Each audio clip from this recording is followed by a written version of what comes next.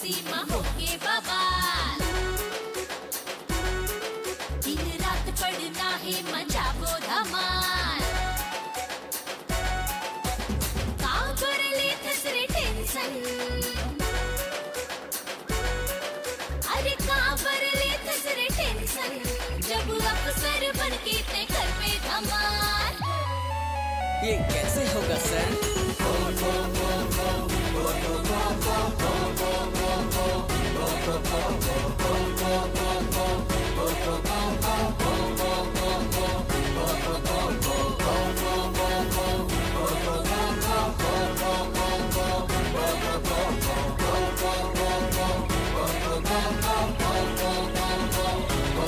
Hello friends, welcome to competition community. Competition community में आपका एक बार फिर से स्वागत है हमारी टॉप एमसीक्यू सीरीज़ में।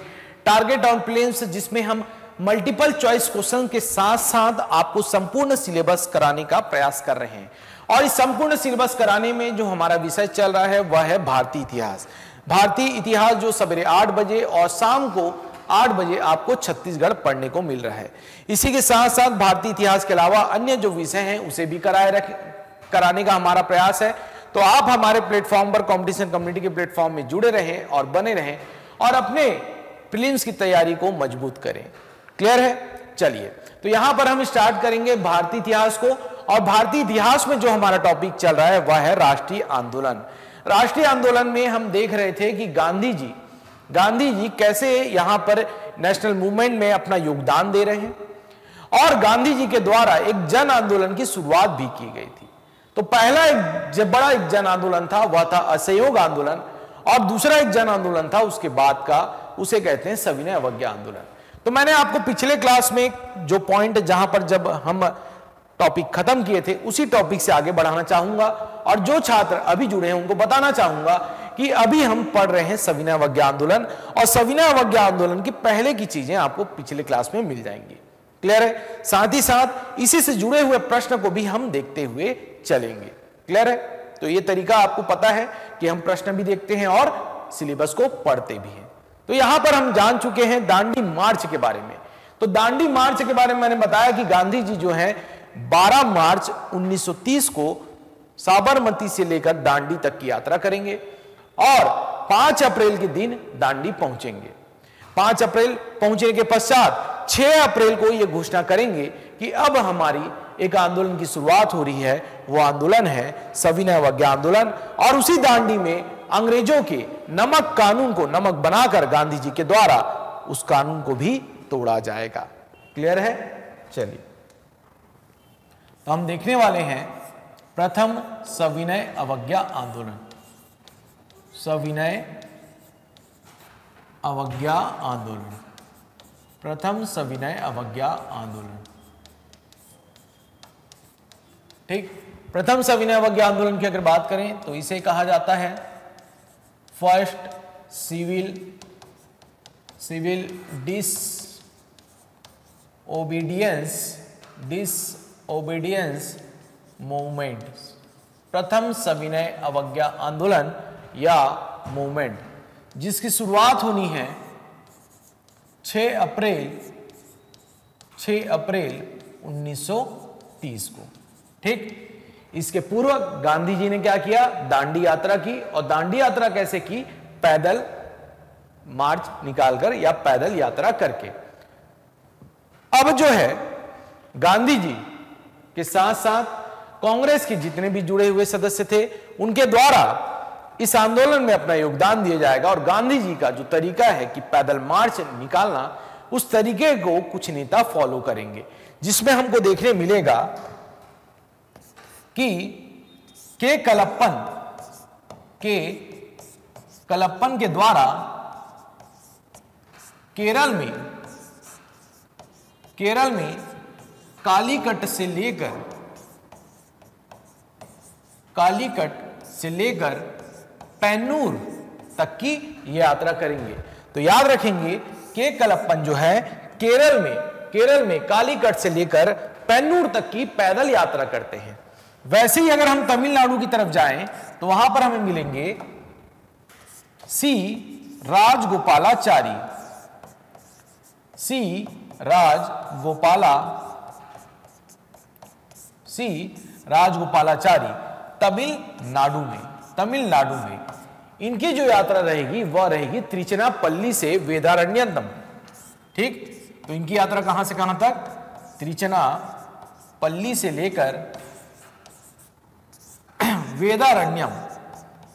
वेदारण्यम तक ये यात्रा करेंगे। क्लियर है?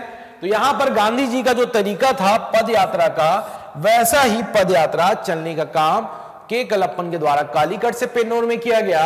और सी राजगोपालाचारी के द्वारा त्रिचनापल्ली से वेदारण्यम तक किया गया। ठीक है?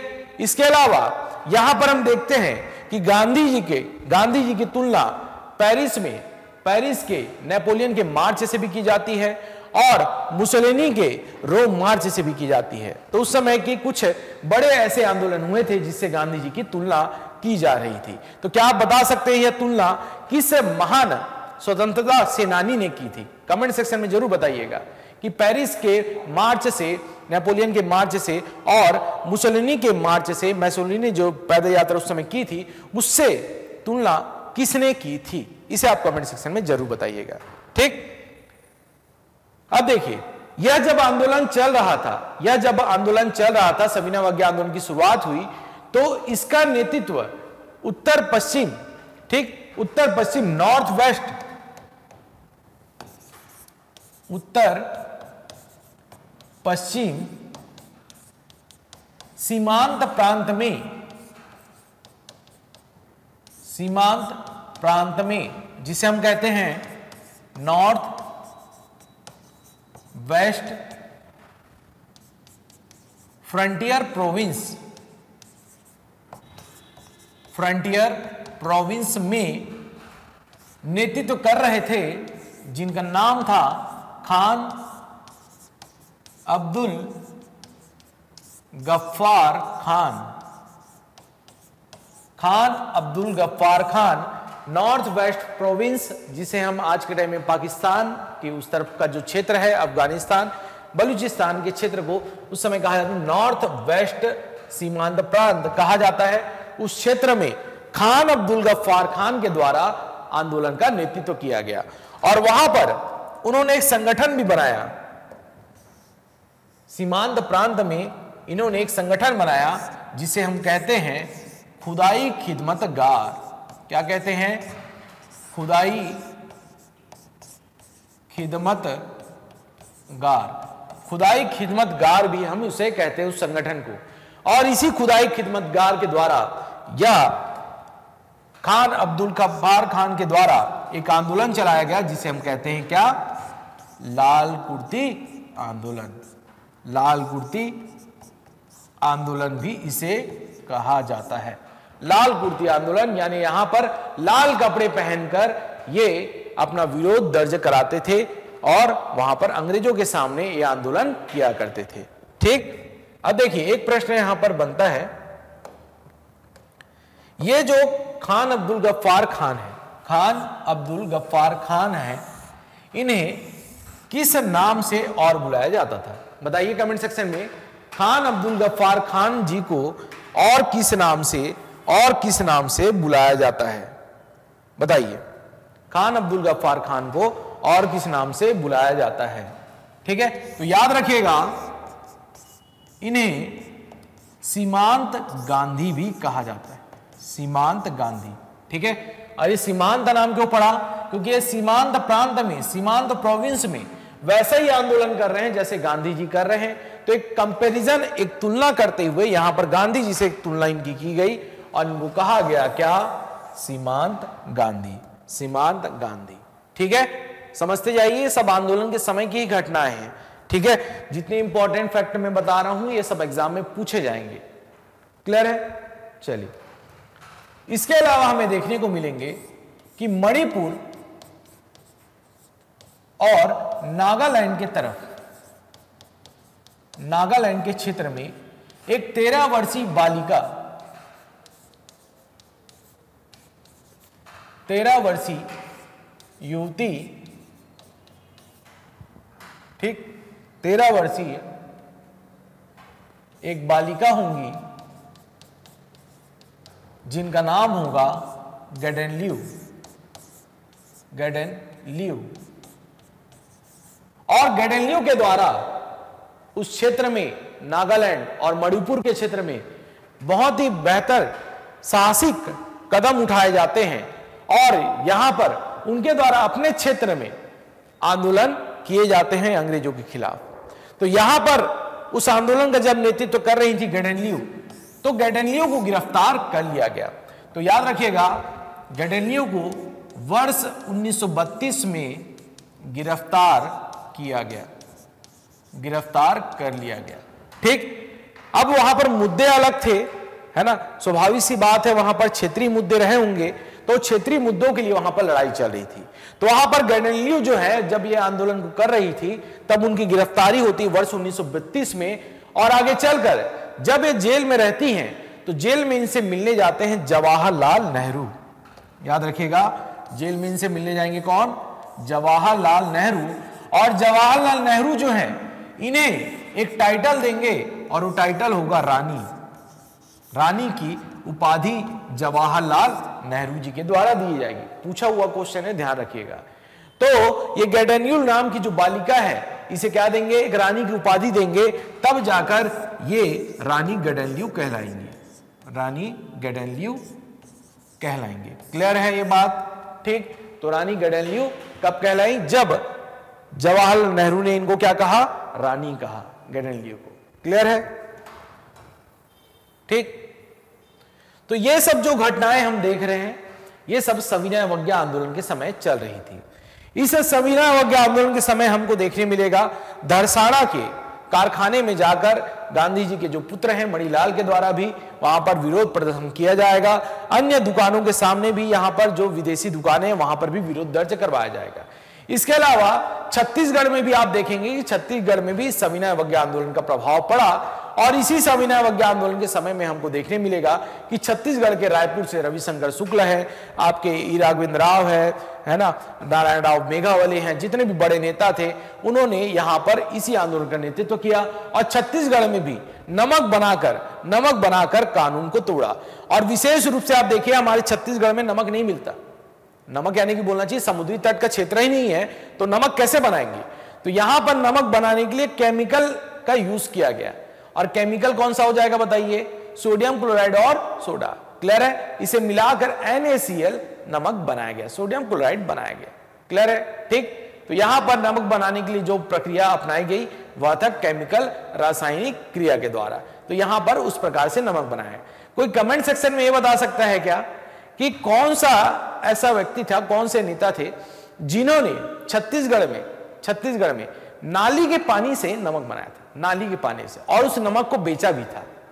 वो नमक को बेचा भी था। ये आप कमेंट सेक्शन में बताइए, किसी ने नाली के पानी से नमक बनाया था? ठीक है, ये सब इसी समय की घटनाएँ हैं।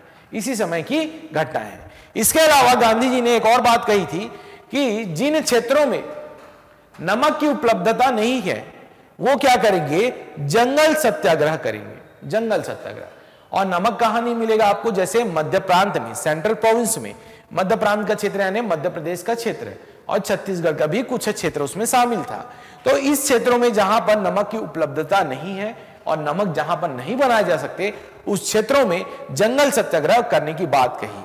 और जंगल सत्याग्रह का मतलब ये कि जंगल में उस समय कुछ फॉरेस्ट को, जंगलों को रिज़र्व कर दिया गया था।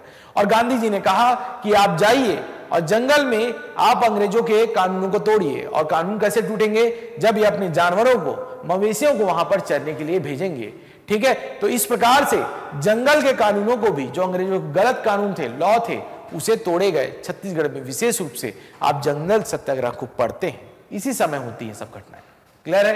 तो वो प्रथम सविनय अवज्ञा आंदोलन का एक प्रभाव आपको देखने मिला। ठीक? अब जब ये प्रथम सविनय अवज्ञा आंदोलन चल रहा था, उस समय साइमन रिपोर्ट पेश की जा चुकी थी। और साइमन रिपोर्ट पेश की गई थी, वह पेश की गई थी लंदन में। अब लंदन में जो साइमन रिपोर्ट पहुँची है, उस पर चर्चा करने के लिए, चर्चा करने के लिए भारत से देसी रियासत के राजाओं को, साथ ही साथ कांग्रेस के नेताओं को भी आमंत्रित किया गया था। अब यहाँ पर जब प्रथम सविनय अवज्ञा आंदोलन चल रहा था तो आंदोलन के चलने के समय ही गांधी जी की गिरफ्तारी हो गई थी और वो उस समय जेल में थे। जब पहला इनका बैठक होना था साइमन रिपोर्ट के लिए। और साइमन रिपोर्ट पर चर्चा के लिए जो बैठक होनी थी, उसी को ही कहते हैं राउंड टेबल कॉन्फ्रेंस। तो यहाँ पर क्या होना है? गोलमेज सम्मेलन होना है। तो आपको प्रथम सविनय आंदोलन के साथ साथ आपको एक गोलमेज सम्मेलन देखने मिलेगा, जिसे हम कहेंगे क्या? प्रथम गोलमेज सम्मेलन। प्रथम गोलमेज सम्मेलन, या इसे ही कहेंगे हम first round table conference first round table conference ठीक? फ़र्स्ट राउंड टेबल कॉन्फ्रेंस की अगर बात करें तो इसकी शुरुआत होनी है 12 नवंबर। 12 नवंबर 1930 को। ठीक? स्थान की अगर मैं बात करूँ किस स्थान पर होगा तो यह था स्थान, James Palace James Palace, London. James Palace, London. और अध्यक्षता जो करेंगे, अध्यक्षता जो करेंगे, वो होंगे Ramsay MacDonald. Ramsay MacDonald. Clear है? ये उस समय के ब्रिटेन के प्रधानमंत्री थे जो इसकी क्या कर रहे थे? अध्यक्षता कर रहे थे। रैमजे मैकडोनल्ड अध्यक्ष। 12 नवंबर को शुरुआत होगी। पहला राउंड टेबल कॉन्फ्रेंस है। अब यहाँ पर जो साइमन रिपोर्ट पर जो चर्चा होनी थी तो यहाँ पर मैंने क्या बताया कि साइमन रिपोर्ट पर जब चर्चा होनी है, उस समय गांधी जी कहाँ है? जेल में है। तो गांधी जी विशेष रूप से जब उनको आमंत्रित करने की बात थी, तब तो ऐसा उस समय तो गांधी जी पहुँच ही नहीं सकते थे, किसी भी हाल में वहाँ पर आ ही नहीं सकते थे, क्योंकि उनको रखा गया था जेल में। तो गांधी जी पहले गोल में सम्मेलन में पहुँच नहीं पाते। और साथ ही साथ, कांग्रेस के जो बड़े नेता हैं और कांग्रेस पार्टी भी इस पहले गोल में सम्मेलन में नहीं पहुँचती। यहाँ जो लोग पहुँचेंगे, वो होंगे देसी रियासत के राजा और अन्य पार्टी के लोग, जिसमें विशेष रूप से आप याद रखेंगे, दलितों का नेतृत्व करते हुए बी आर अंबेडकर जी भीमराव अंबेडकर जी इस पहले गोल में सम्मेलन में पहुँचेंगे। अब यहाँ पर जो साइमन रिपोर्ट में जो चर्चा होनी थी, उसमें यहाँ पर ब्रिटिश सरकार के द्वारा देखा जाता है कि यहाँ पर जो मुख्य घटक हैं, जिसकी बात करें कांग्रेस और गांधी जी, मुख्य रूप से शामिल नहीं है।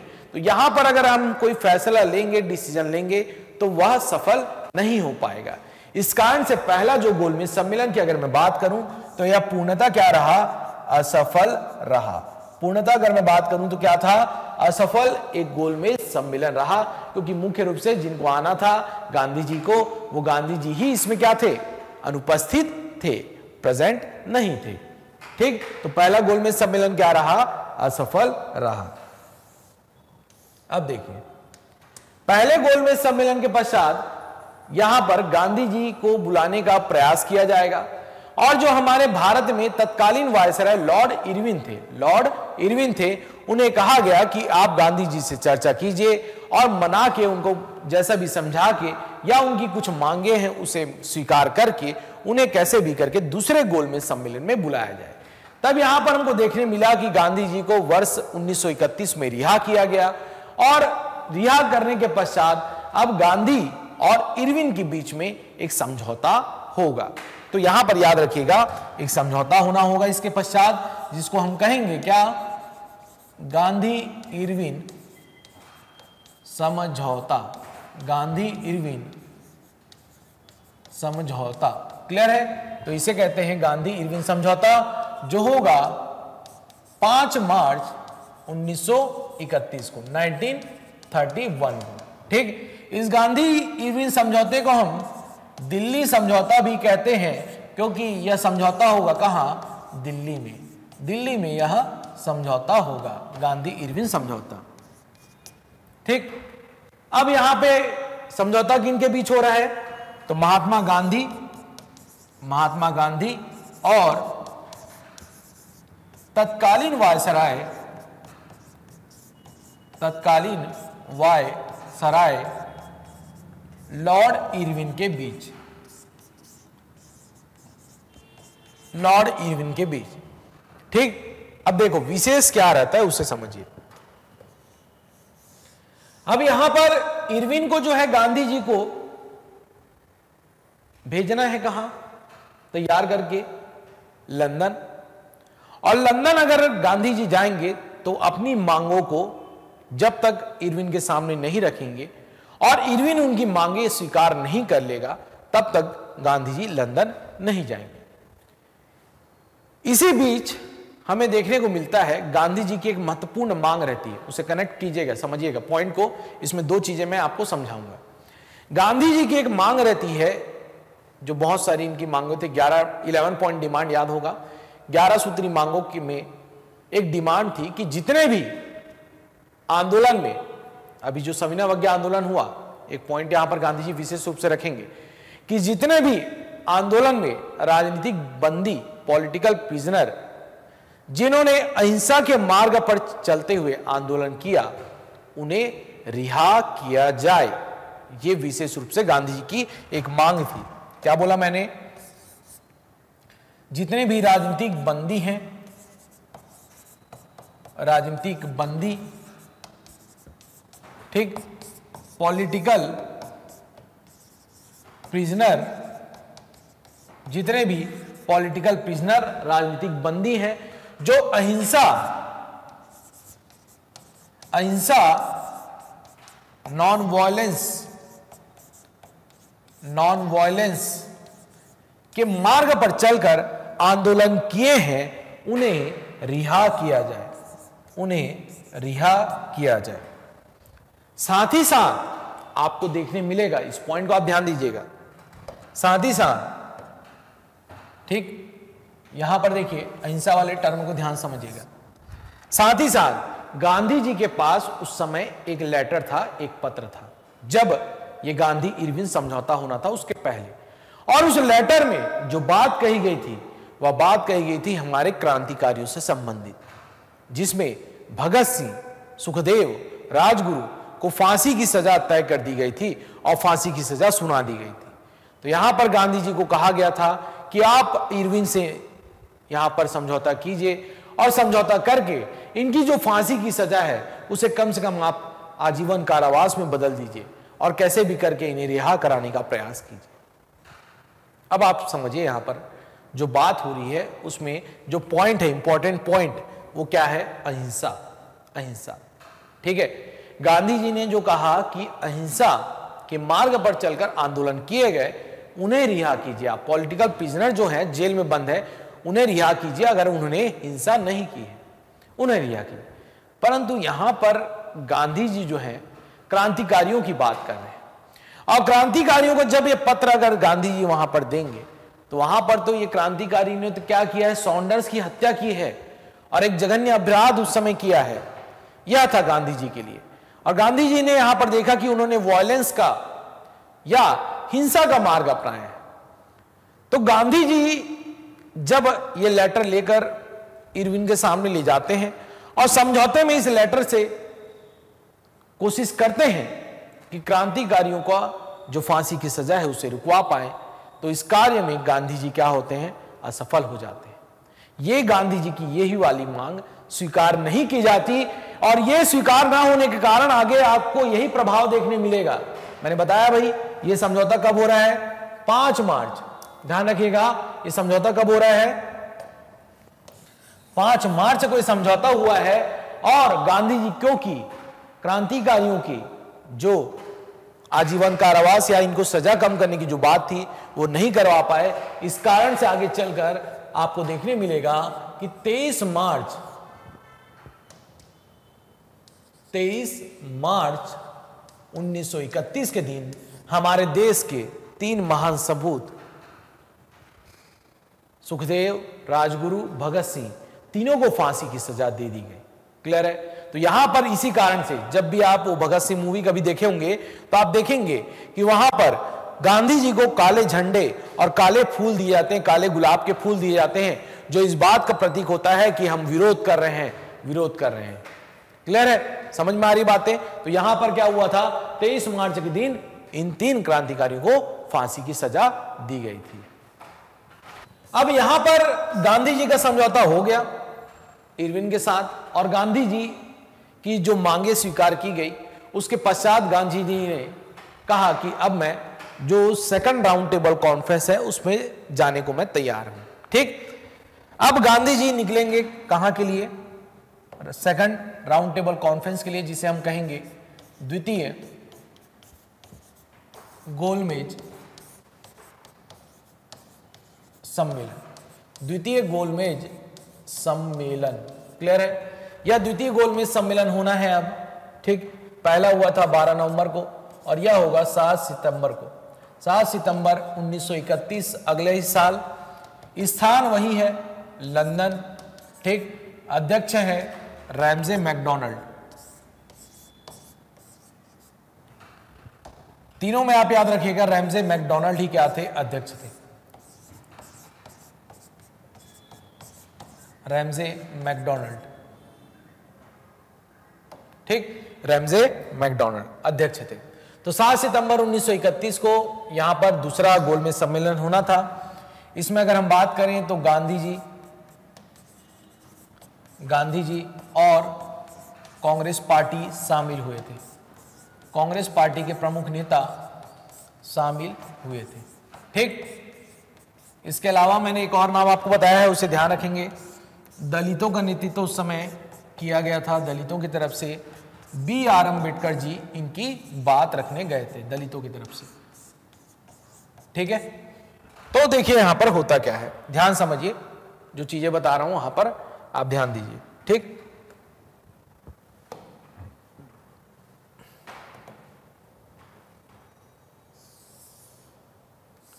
यह है राउंड टेबल कॉन्फ्रेंस जहाँ गांधी जी पहुँचे। राउंड टेबल कॉन्फ्रेंस अब देखिए, होता क्या है? सेकंड राउंड टेबल कॉन्फ्रेंस गोलमेज सम्मेलन में गांधी जी को पहुँचना था। गांधी जी उस समय राजपुताना जहाज़ से कहाँ पहुँचते हैं? लंदन पहुँचते हैं। और लंदन पहुँचने से पहले यहाँ पर जब वो जहाज़ में रहते हैं और जहाज़ से उतरने वाले होते हैं तो लंदन की पूरी भीड़, लंदन के पूरे लोग उस महान व्यक्ति को और उस व्यक्ति को देखने आते हैं कि जिस व्यक्ति ने अंग्रेज़ों की नाक में दम कर दिया है और अंग्रेज़ों को लोहे के चने चबाने पर मजबूर कर दिया है ऐसा ये कौन सा व्यक्ति है? गांधी जी कौन है? ये देखने के लिए लंदन के लोग वहाँ पर पहुँचते हैं। ठीक है? और लंदन के लोग सोच रहे थे कि कोई एकदम बहुत ही महामानव टाइप का व्यक्ति होगा, बहुत ही दमदार व्यक्ति होगा। ऐसा उनको उम्मीद था। जब गांधी जी वहाँ पहुँचते हैं, जहाज़ से शिप से पहुँचते हैं। राजपुताना जहाज़ है, नाम याद रखेगा राजपुताना जहाज़ में जब पहुँचते हैं तो यहाँ पर वो देखते हैं, जब लंदन में जब लोग आए होते हैं देखने के लिए तो गांधी जी को देखने के लिए उत्सुक थे। उसी में विस्टन चर्चिल, याद होगा मैंने बताया था विस्टन चर्चिल के बारे में।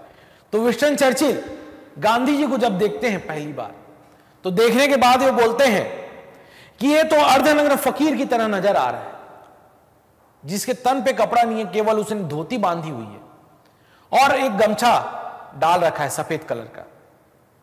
तो उसी को देखते हुए चर्चिल, इसी समय का टाइम यही दौर है, जब लंदन के लोग भी देखना चाहते थे और चर्चिल भी जब देखता है गांधी जी को तो उनको अर्धनग्न फकीर कहता है, किसके बदन पर तो आधे ही कपड़े हैं। ऐसा वो कमेंट करता है। इसी टाइम की बात है। आप देख सक रहे हैं यहाँ पर गांधी जी को। गांधी जी एक साल ओढ़े हुए मात्र एक कपड़ा ओढ़े हुए सफ़ेद कलर का। ठीक है? और वहाँ पर वो बैठक में शामिल होने गए। ठीक? बिल्कुल आम व्यक्ति की तरह, सामान्य व्यक्ति की तरह वो रहते थे। उनका जीवन ही वैसा था। ठीक? तो लंदन के लोगों की उत्सुकता, उनको देखकर लगा कि वो कोई महामानव होंगे। बट एकदम साधारण, फकीर की तरह वो दिख रहे हैं। ठीक? अब यहाँ पर, इस राउंड टेबल कॉन्फ्रेंस में, गोलमेज सम्मेलन में गांधी जी पहुँचते हैं। गोलमेज सम्मेलन याद रखिएगा, ये गोल में जैसा ये गोल क्यों था? चेयर या टेबल्स गोल क्यों रखे गए थे? इसे आप समझिए। इसका रखने का भी एक कारण था गोल में सम्मेलन। गोल में सम्मेलन या राउंड टेबल रखने का कारण यह था कि समान रूप से इक्वली समान रूप से सब एक साथ एक जगह पर आमने सामने बैठ सके। देख रहे हैं? यहाँ पर सभी एक प्रकार की चेयर में यहाँ पर बैठे हुए हैं और आमने सामने बैठे हुए हैं। इसके अलावा अगर यहाँ पर गोल मेज नहीं होता तो होता क्या? कि एक कोई बड़ा नेता सामने बैठता और सब उसके यहाँ पर सामने चेयर लगी होती और उसके सामने एक बड़ा नेता एक बड़े चेयर में बैठा होता। तो उससे क्या होता है? उस व्यक्ति को महान दिखाने का या अध्यक्ष को ऐसा दिखाने का प्रयास किया जाएगा कि अब अगर वो उस जगह पर बैठ गया है तो सामने के व्यक्तियों को क्या करेगा? वो डोमिनेट करने का प्रयास करेगा। ठीक है? जैसे कि आप देखते हैं, एक कोर्ट में ले लीजिए, जैसे कोर्ट में जज बैठे होते हैं तो जज को ऊपर बैठाया जाता है। जज की भूमिका कहाँ रहती है? ऊपर। ठीक है? और सभी जो आम जन है या कैदी हैं, उनको नीचे रखा जाता है। तो इससे क्या समझ में आता है कि ऊपर का जो व्यक्ति है, नीचे के व्यक्ति को आदेश देता है। ठीक? तो ऐसा ना हो, इस कारण से गोलमेज वहाँ पर रखे गए थे। ठीक है? गोलमेज सम्मेलन रखा गया ताकि समान रूप से सभी अपनी बातें रख पाए। और एक अच्छी चर्चा वहाँ पर हो पाए साइमन रिपोर्ट पर, साइमन कमीशन की रिपोर्ट पर। ठीक? अब देखिए, मैंने क्या बताया? ये जो चल रहा है सम्मेलन, ये है आपका द्वितीय गोलमेज राउंड टेबल कॉन्फ्रेंस दूसरा राउंड टेबल कॉन्फ्रेंस चल रहा है। अब यहाँ पर होता क्या है? इस सम्मेलन में एक बात निकल कर आती है, और वह बात होती है सांप्रदायिक रूप से। सांप्रदायिक एक विवाद यहाँ पर निकल कर आता है। होता क्या है? समझिए। इस सम्मेलन में बी आर अंबेडकर जी के द्वारा, बी आर अंबेडकर जी के द्वारा, अंबेडकर जी के द्वारा दलितों के लिए, दलितों के लिए पृथक चुनाव पृथक चुनाव या सेपरेट इलेक्टोरेट की मांग की जाती है। सेपरेट इलेक्टोरेट, पृथक चुनाव की मांग की जाती है। ये जब पृथक चुनाव की मांग होती है तो यहाँ पर समस्या क्या आती है, उसे समझिए। पृथक चुनाव का अर्थ होता है कि अब जो है, दलित, केवल दलित को ही चुन सकते हैं। ठीक? दलित व्यक्ति केवल दलितों को ही चुन सकते हैं। इसके अलावा, अन्य जो व्यक्ति हैं, उनको अब यहाँ पर वोट डालने का चुनाव का अधिकार नहीं होगा। जैसे, अभी प्रेजेंट टाइम में आप जो देखते हैं, वह एक प्रकार का संयुक्त चुनाव है। ठीक है? अगर 10 वार्ड हैं 10 वार्ड में मान लो की बात किसी वार्ड में ओबीसी व्यक्ति अगर खड़ा है चुनाव में तो उस ओबीसी व्यक्ति को सभी वर्ग के लोग चुनते हैं। चाहे वो हिंदू हो, मुसलमान हो एसटी हो एससी हो ओबीसी हो, हर कोई व्यक्ति वहाँ पर वोट डाल सकता है। ये एक चुनाव की प्रक्रिया है, जो प्रेजेंट टाइम में चल रही है। परंतु वहाँ पर मांग की जा रही है, पृथक चुनाव की, पृथक चुनाव की मांग की जा रही है कि अब जो है, दलितों के लिए अलग एक क्षेत्र रखा जाए, जहाँ पर दलित ही खड़े होंगे चुनाव में और वोट डालने वाले भी दलित ही होंगे। क्लियर है? इसे कहा गया सेपरेट इलेक्टोरेट अब ये मांग अचानक से नहीं आई, आप ध्यान रखना। ये मांग अचानक से नहीं आई है। इसके पहले भी, इसके पहले भी मुसलमानों को, सिखों को, यह अधिकार कि पृथक चुनाव होना चाहिए, यह अधिकार पहले ही दिया जा चुका है। क्या आप कमेंट सेक्शन में बता सकते हैं कि मुसलमानों को, विशेष रूप से मुसलमानों को किस अधिनियम के तहत, किस वर्ष पृथक चुनाव का अधिकार सेपरेट इलेक्टोरेट का अधिकार दिया गया? कमेंट सेक्शन में ज़रूर बताइएगा कि सेपरेट इलेक्टोरेट का अधिकार उनको कब मिला। इसके बारे में आप बताइएगा। ठीक? तो यहाँ पर पृथक चुनाव की मांग कर दी गई बी आर अंबेडकर जी के द्वारा। और बी आर अंबेडकर जी ने जैसे ये मांग रखी, गांधी जी ने कहा कि मेरा यह प्रयास है कि मैं पिछड़ों को, दलितों को और अन्य समाज के वर्ग के लोगों को समान रूप से एक प्लेटफॉर्म पर, एक दर्जे पर लेकर आऊँ। परंतु अगर इस प्रकार से पृथक चुनाव अगर इनके लिए हुआ तो मैं ये छुआछूत की भावना जो इनके, यानी इनके लिए जो छुआछूत जो चल रहा है, अस्पृश्यता की भावना जो लोगों के मन में है, इसे मैं नहीं मिटा पाऊँगा, नहीं मिटा पाऊँगा अगर पृथक चुनाव हुआ। और इसी बात पर, इसी बात पर गांधी जी ने यह जो सम्मेलन था राउंड टेबल कॉन्फ्रेंस था, उसे छोड़ दिया और इसी विवाद के साथ यह सम्मेलन भी, दूसरा गोलमेज सम्मेलन, एक प्रकार से असफल रहा असफल रहा। समझ में आया क्या विवाद हुआ था?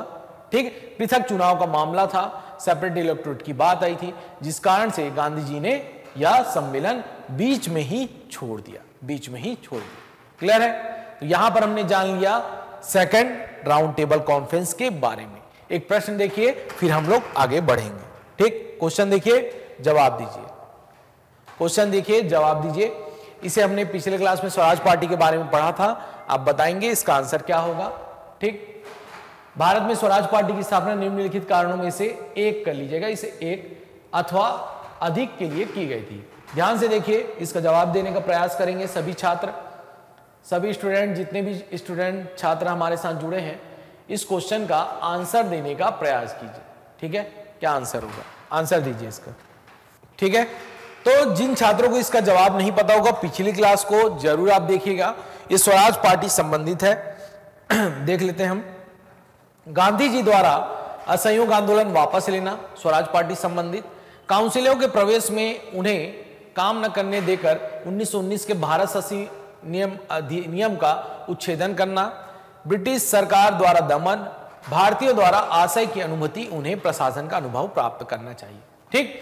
देखिए, पहला एक कारण था स्वराज पार्टी के बनने का, वह यही था कि असहयोग आंदोलन को गांधी जी ने जो अचानक से वापस लिया, इस कारण से ही यहाँ पर चितरंजन दास, मोतीलाल नेहरू ने अपनी अलग एक पार्टी बना ली। ठीक? काउंसिलों में प्रवेश करना, काउंसिल, विधानसभा चुनावों में भाग लेना यह उनके उद्देश्यों में शामिल था। साथ ही साथ मैंने बताया था कि यहाँ पर जब ये विधानसभा में भाग लेंगे तो यहाँ पर विधानसभा में जो कार्य हो रहे हैं, उसे बाधित करेंगे। यह भी इनका एक उद्देश्य था तो दूसरा भी सही है। ब्रिटिश सरकार द्वारा दमन, ये बात गलत है। इसके अलावा इस आशय की अनुभूति, उन्हें प्रशासन का अनुभव प्राप्त करना यह भी बात गलत है। वो कोई प्रशासन का अनुभव लेने नहीं गए हैं, वहाँ पर वो कार्य बाधित करने गए मतलब आपका ऑप्शन नंबर बी करेक्ट होगा one and two one and two और क्वेश्चन देख लेते हैं।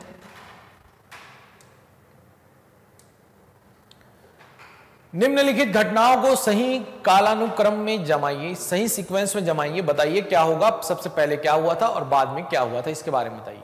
ठीक है? सबसे पहले और बाद में क्या हुआ, उसके बारे में बताइए, फिर हम लोग आगे बढ़ेंगे। ठीक? चलिए बताइए क्या क्या हुआ था। सभी छात्रों को प्रश्न देखना है और जवाब देना है कमेंट सेक्शन में। मैं सभी के कमेंट पढ़ता हूँ और वहाँ से मुझे पता चलता है कि कितने छात्र सीरियसली पढ़ रहे हैं और तैयारी कर रहे हैं। याद रखिए, जो तैयारी आप कर रहे हैं, ये आपके लिए और जितने, आपके जितने भी एग्ज़ाम आने वाले हैं और सहकारिता और इन सब की भी जो तैयारी कर रहे हैं, उसके लिए भी काम आएगा और साथ ही साथ हम जो सीजीपीएससी की जो चाह रहे हैं कि सीजीपीएससी प्रीलिम्स की जो तैयारी करना है, उसके लिए भी यह आपके लिए इंपॉर्टेंट है। तो आप ध्यान से सभी प्रश्नों को हल कीजिए। बताइए, क्या होगा? ठीक? तो यहाँ पर देखिए, लखनऊ समझौता की अगर मैं बात करूँ तो यह वर्ष 1916 की बात है, घटना है। स्वराज दल की स्थापना हुई थी वर्ष 1930-23 में। जलियावाला बाग वर्ष 1919 की घटना है। बाल गंगाधर तिलक की डेथ हुई थी 1 अगस्त 1920 को। ठीक है? तो इसमें कौन सा सही होगा, बताइए। क्रम में जमाइए सबसे पहले क्या होना चाहिए आपका? लखनऊ समझौता।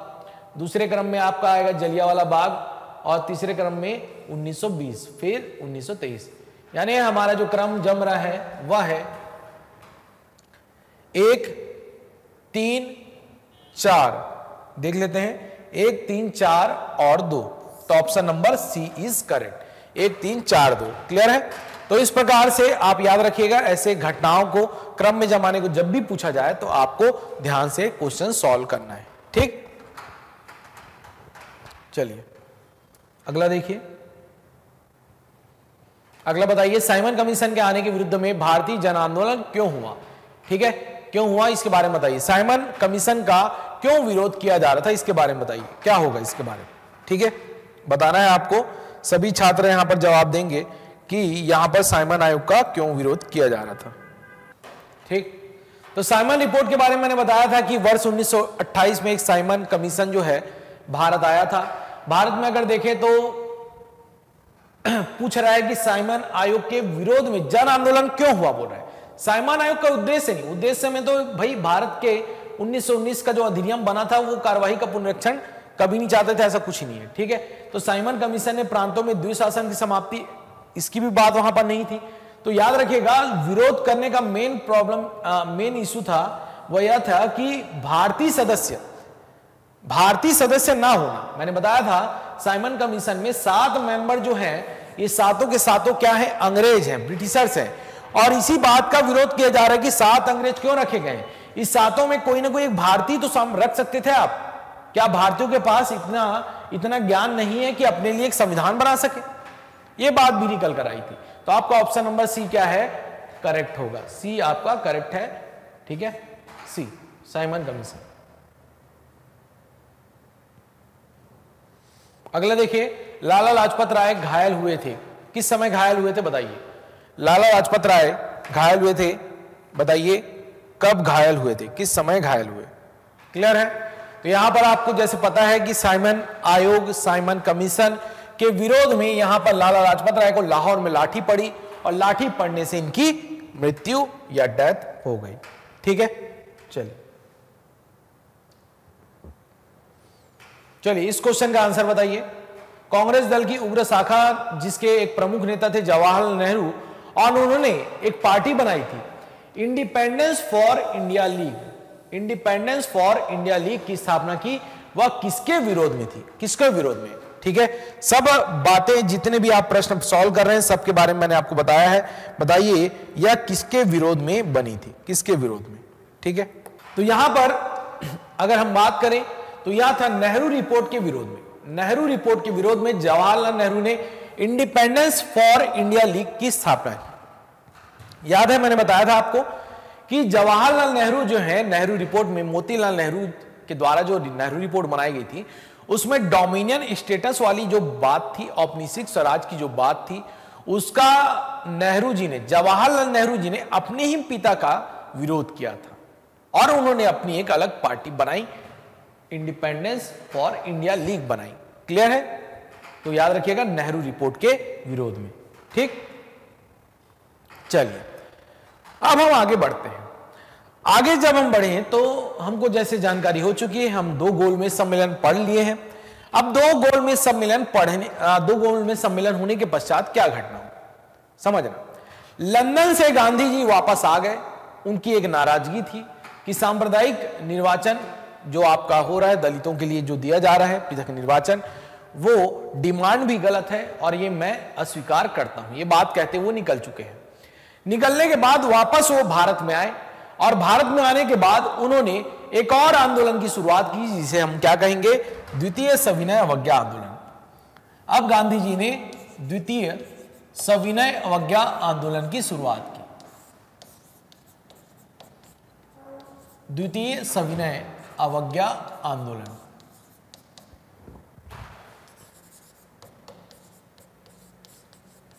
ठीक? द्वितीय सविनय अवज्ञा आंदोलन की शुरुआत यह वर्ष 1900 दिसंबर 1931 में करेंगे। दिसंबर 1931 में करेंगे। और सविनय अवज्ञा आंदोलन शुरुआत करते ही कुछ दिनों के पश्चात, कुछ दिनों के पश्चात ही गांधी जी की फिर से 4 जनवरी 1932 तक गांधी जी की गिरफ्तारी हो जाएगी। ठीक है, गांधी जी इस समय गिरफ़्तार हो जाएँगे। गांधी जी गिरफ़्तार हो जाएँगे। ठीक है? ध्यान रखना। अब देखिए, गांधी जी जेल में थे, फिर से द्वितीय संविधान आंदोलन के पश्चात। और इस समय अंग्रेज़ों ने या ब्रिटिश गवर्नमेंट ने जो डिमांड थी सेकंड गोलमेज सम्मेलन के समय, उसे डिमांड में जो पृथक निर्वाचन की बात थी, उसे स्वीकार कर लिया। उसे स्वीकार कर लिया और अब जो है, एक सांप्रदायिक निर्णय दिया गया। सांप्रदायिक निर्णय या सांप्रदायिक पंचाट की घोषणा की गई, जिसे हम कहते हैं कम्युनल अवार्ड कम्युनल अवार्ड या मैकडोनल्ड अवार्ड क्लियर है? कम्युनल अवार्ड भी कहा जाता है। तो सांप्रदायिक पंचायत की जो घोषणा हुई, वह हुई 16 अगस्त 1932 को। 16 अगस्त 1932 को। और यह घोषणा करने वाले थे रैमजे मैकडोनल्ड। याद आ रहा है? रैमजे मैकडोनल्ड के द्वारा यह घोषणा की गई, सांप्रदायिक पंचायत की। इस सांप्रदायिक पंचायत के अनुसार कहा गया कि अब जो है मुस्लिम, सिख व ईसाइयों के साथ साथ, ईसाइयों के साथ साथ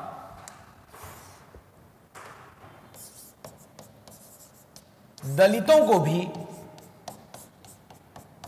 दलितों को पृथक निर्वाचन दलितों को सेपरेट इलेक्टोरेट पृथक निर्वाचन का अधिकार दिया जाएगा।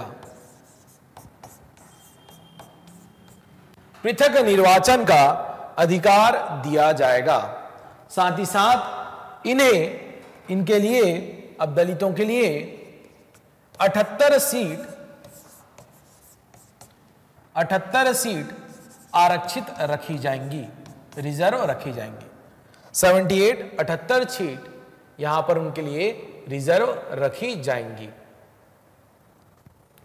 क्लियर है? यहाँ तक बातें समझ में आई। सांप्रदायिक पंचायत में कहीं ना कहीं जो द्वितीय गोलमेज सम्मेलन में जो मांग की गई थी, उसे स्वीकार कर लिया गया और सांप्रदायिक पंचायत की घोषणा की गई। अब समझिए। देखिए, जितना भी पॉइंट में बता रहा हूँ, ये घटनाक्रम के रूप में आपको एग्ज़ाम में पूछे जाते हैं। और बिल्कुल सीक्वेंस को याद रखिए 1930 31 32 में जितनी भी घटनाएँ हुई हैं, उस घटनाओं को इंसिडेंट को आपको समझना है और याद भी रखना है। ठीक? चलिए। तो यहाँ पर मैंने बताया कि सांप्रदायिक पंचायत की घोषणा कर दी गई। और सांप्रदायिक पंचायत की घोषणा के समय गांधी जी कहाँ हैं? जेल में। और जेल कौन सी जेल? जहाँ पर मुन्ना भाई को रखा गया मुन्ना भाई कौन? संजय दत्त। और संजय दत्त को कहाँ रखा गया था? यरवदा जेल में। यरवदा जेल में। तो गांधी जी पुणे के यरवदा जेल में उस समय थे, जब सांप्रदायिक पंचायत की घोषणा की गई। जैसे ही गांधी जी को जानकारी हुई कि सांप्रदायिक पंचायत यानी कि एक पृथक निर्वाचन का अधिकार अब दे दिया गया है, उसके विरोध में ही गांधी जी उसी जेल में यरदा जेल में क्या करेंगे? भूख हड़ताल, हंगर स्ट्राइक कर देंगे। और भूख हड़ताल करने के पश्चात अब गांधी जी को यहाँ पर इनके जो भूख हड़ताल चल रही है उसे रोकने के प्रयास करने के लिए यहाँ पर एक और समझौता होगा, जिसे हम कहेंगे क्या? पूना समझौता। तो समझते हैं पुणे समझौते को। पूना पैक्ट या पूना समझौता। पूना पैक्ट या पूना समझौता जो होगा 24 सितंबर 1932 को। 24 सितंबर 1932 ठीक? ध्यान दीजिएगा। यह समझौता जो होगा, गांधी जी गांधी जी व बी आर अंबेडकर जी के बीच होगा। बी आर अंबेडकर जी के बीच होगा। क्लियर है? बातें समझ में आ रही है? कि पूना समझौता जो है, पुणे में यरोदा जेल में गांधी जी जब थे तो उनके रहते हुए उनसे मिलने आएँगे बी आर अंबेडकर जी। और बी आर अंबेडकर जी और गांधी जी को आमने सामने बिठाया जाएगा और दोनों में चर्चा होंगी और चर्चा होने के बाद मामला सुलझाया जाएगा। अब जो यहाँ पर दलितों के लिए जो पृथक चुनाव की जो बात की गई थी, सांप्रदायिक पंचायत में, उसे निरस्त करके, उसे निरस्त करके पृथक निर्वाचन के स्थान पर स्थान पर संयुक्त निर्वाचन की बात कही गई। संयुक्त निर्वाचन। पृथक निर्वाचन के स्थान पर संयुक्त निर्वाचन ज्वाइंट इलेक्टोरेट की बात कही। ज्वाइंट ठीक है, ध्यान रखेंगे। ज्वाइंट इलेक्टोरेट की बात कही गई। ठीक? अब यहाँ पर पृथक निर्वाचन जब बदला गया तो हुआ क्या एक्चुअल में? तो यहाँ पर गांधी जी ने कहा कि जो पृथक निर्वाचन है, उसे हटा देते हैं हम लोग। और यहाँ पर जो दलितों के लिए जो रिज़र्व सीट है, आरक्षित सीट है, उस आरक्षित सीटों को हम बढ़ा देते हैं। आरक्षित सीटों को हम बढ़ा देते हैं। ठीक? तो यहाँ पर गांधी जी ने जो मसौदा दिया था, उसमें उन्होंने कहा कि प्रांतों में प्रोविंस में हम क्या करते हैं आपके लिए? है ना? 78 जो सीट थी 78 सीट से बढ़ाकर हम 148 सीट कर देते हैं। 78 से 48 सीट कर देते हैं। इसके अलावा केंद्र में केंद्र में आपके लिए, केंद्र में आपके लिए लगभग 18 परसेंट आरक्षण, आरक्षित सीट रखी जाएगी। केंद्र में 8 परसेंट अट्ठारह परसेंट आरक्षित सीट आपके लिए कर दी जाएँगी। और इस प्रकार संयुक्त निर्वाचन में बदलकर यह समझौता किया गया। क्लियर है यहाँ तक पॉइंट आपको? ठीक? तो यह क्या था? पूना समझौता जो 24 सितंबर 1932 को हुआ। ठीक? अब यह समझौता जब हुआ, उसके कुछ समय पश्चात तृतीय गोल में सम्मेलन हुआ। तृतीय गोलमेज सम्मेलन। तृतीय गोलमेज तृतीय गोलमेज सम्मेलन हुआ। और तृतीय गोलमेज सम्मेलन होगा 17 नवंबर 1932 को। स्थान वही, अध्यक्ष वही।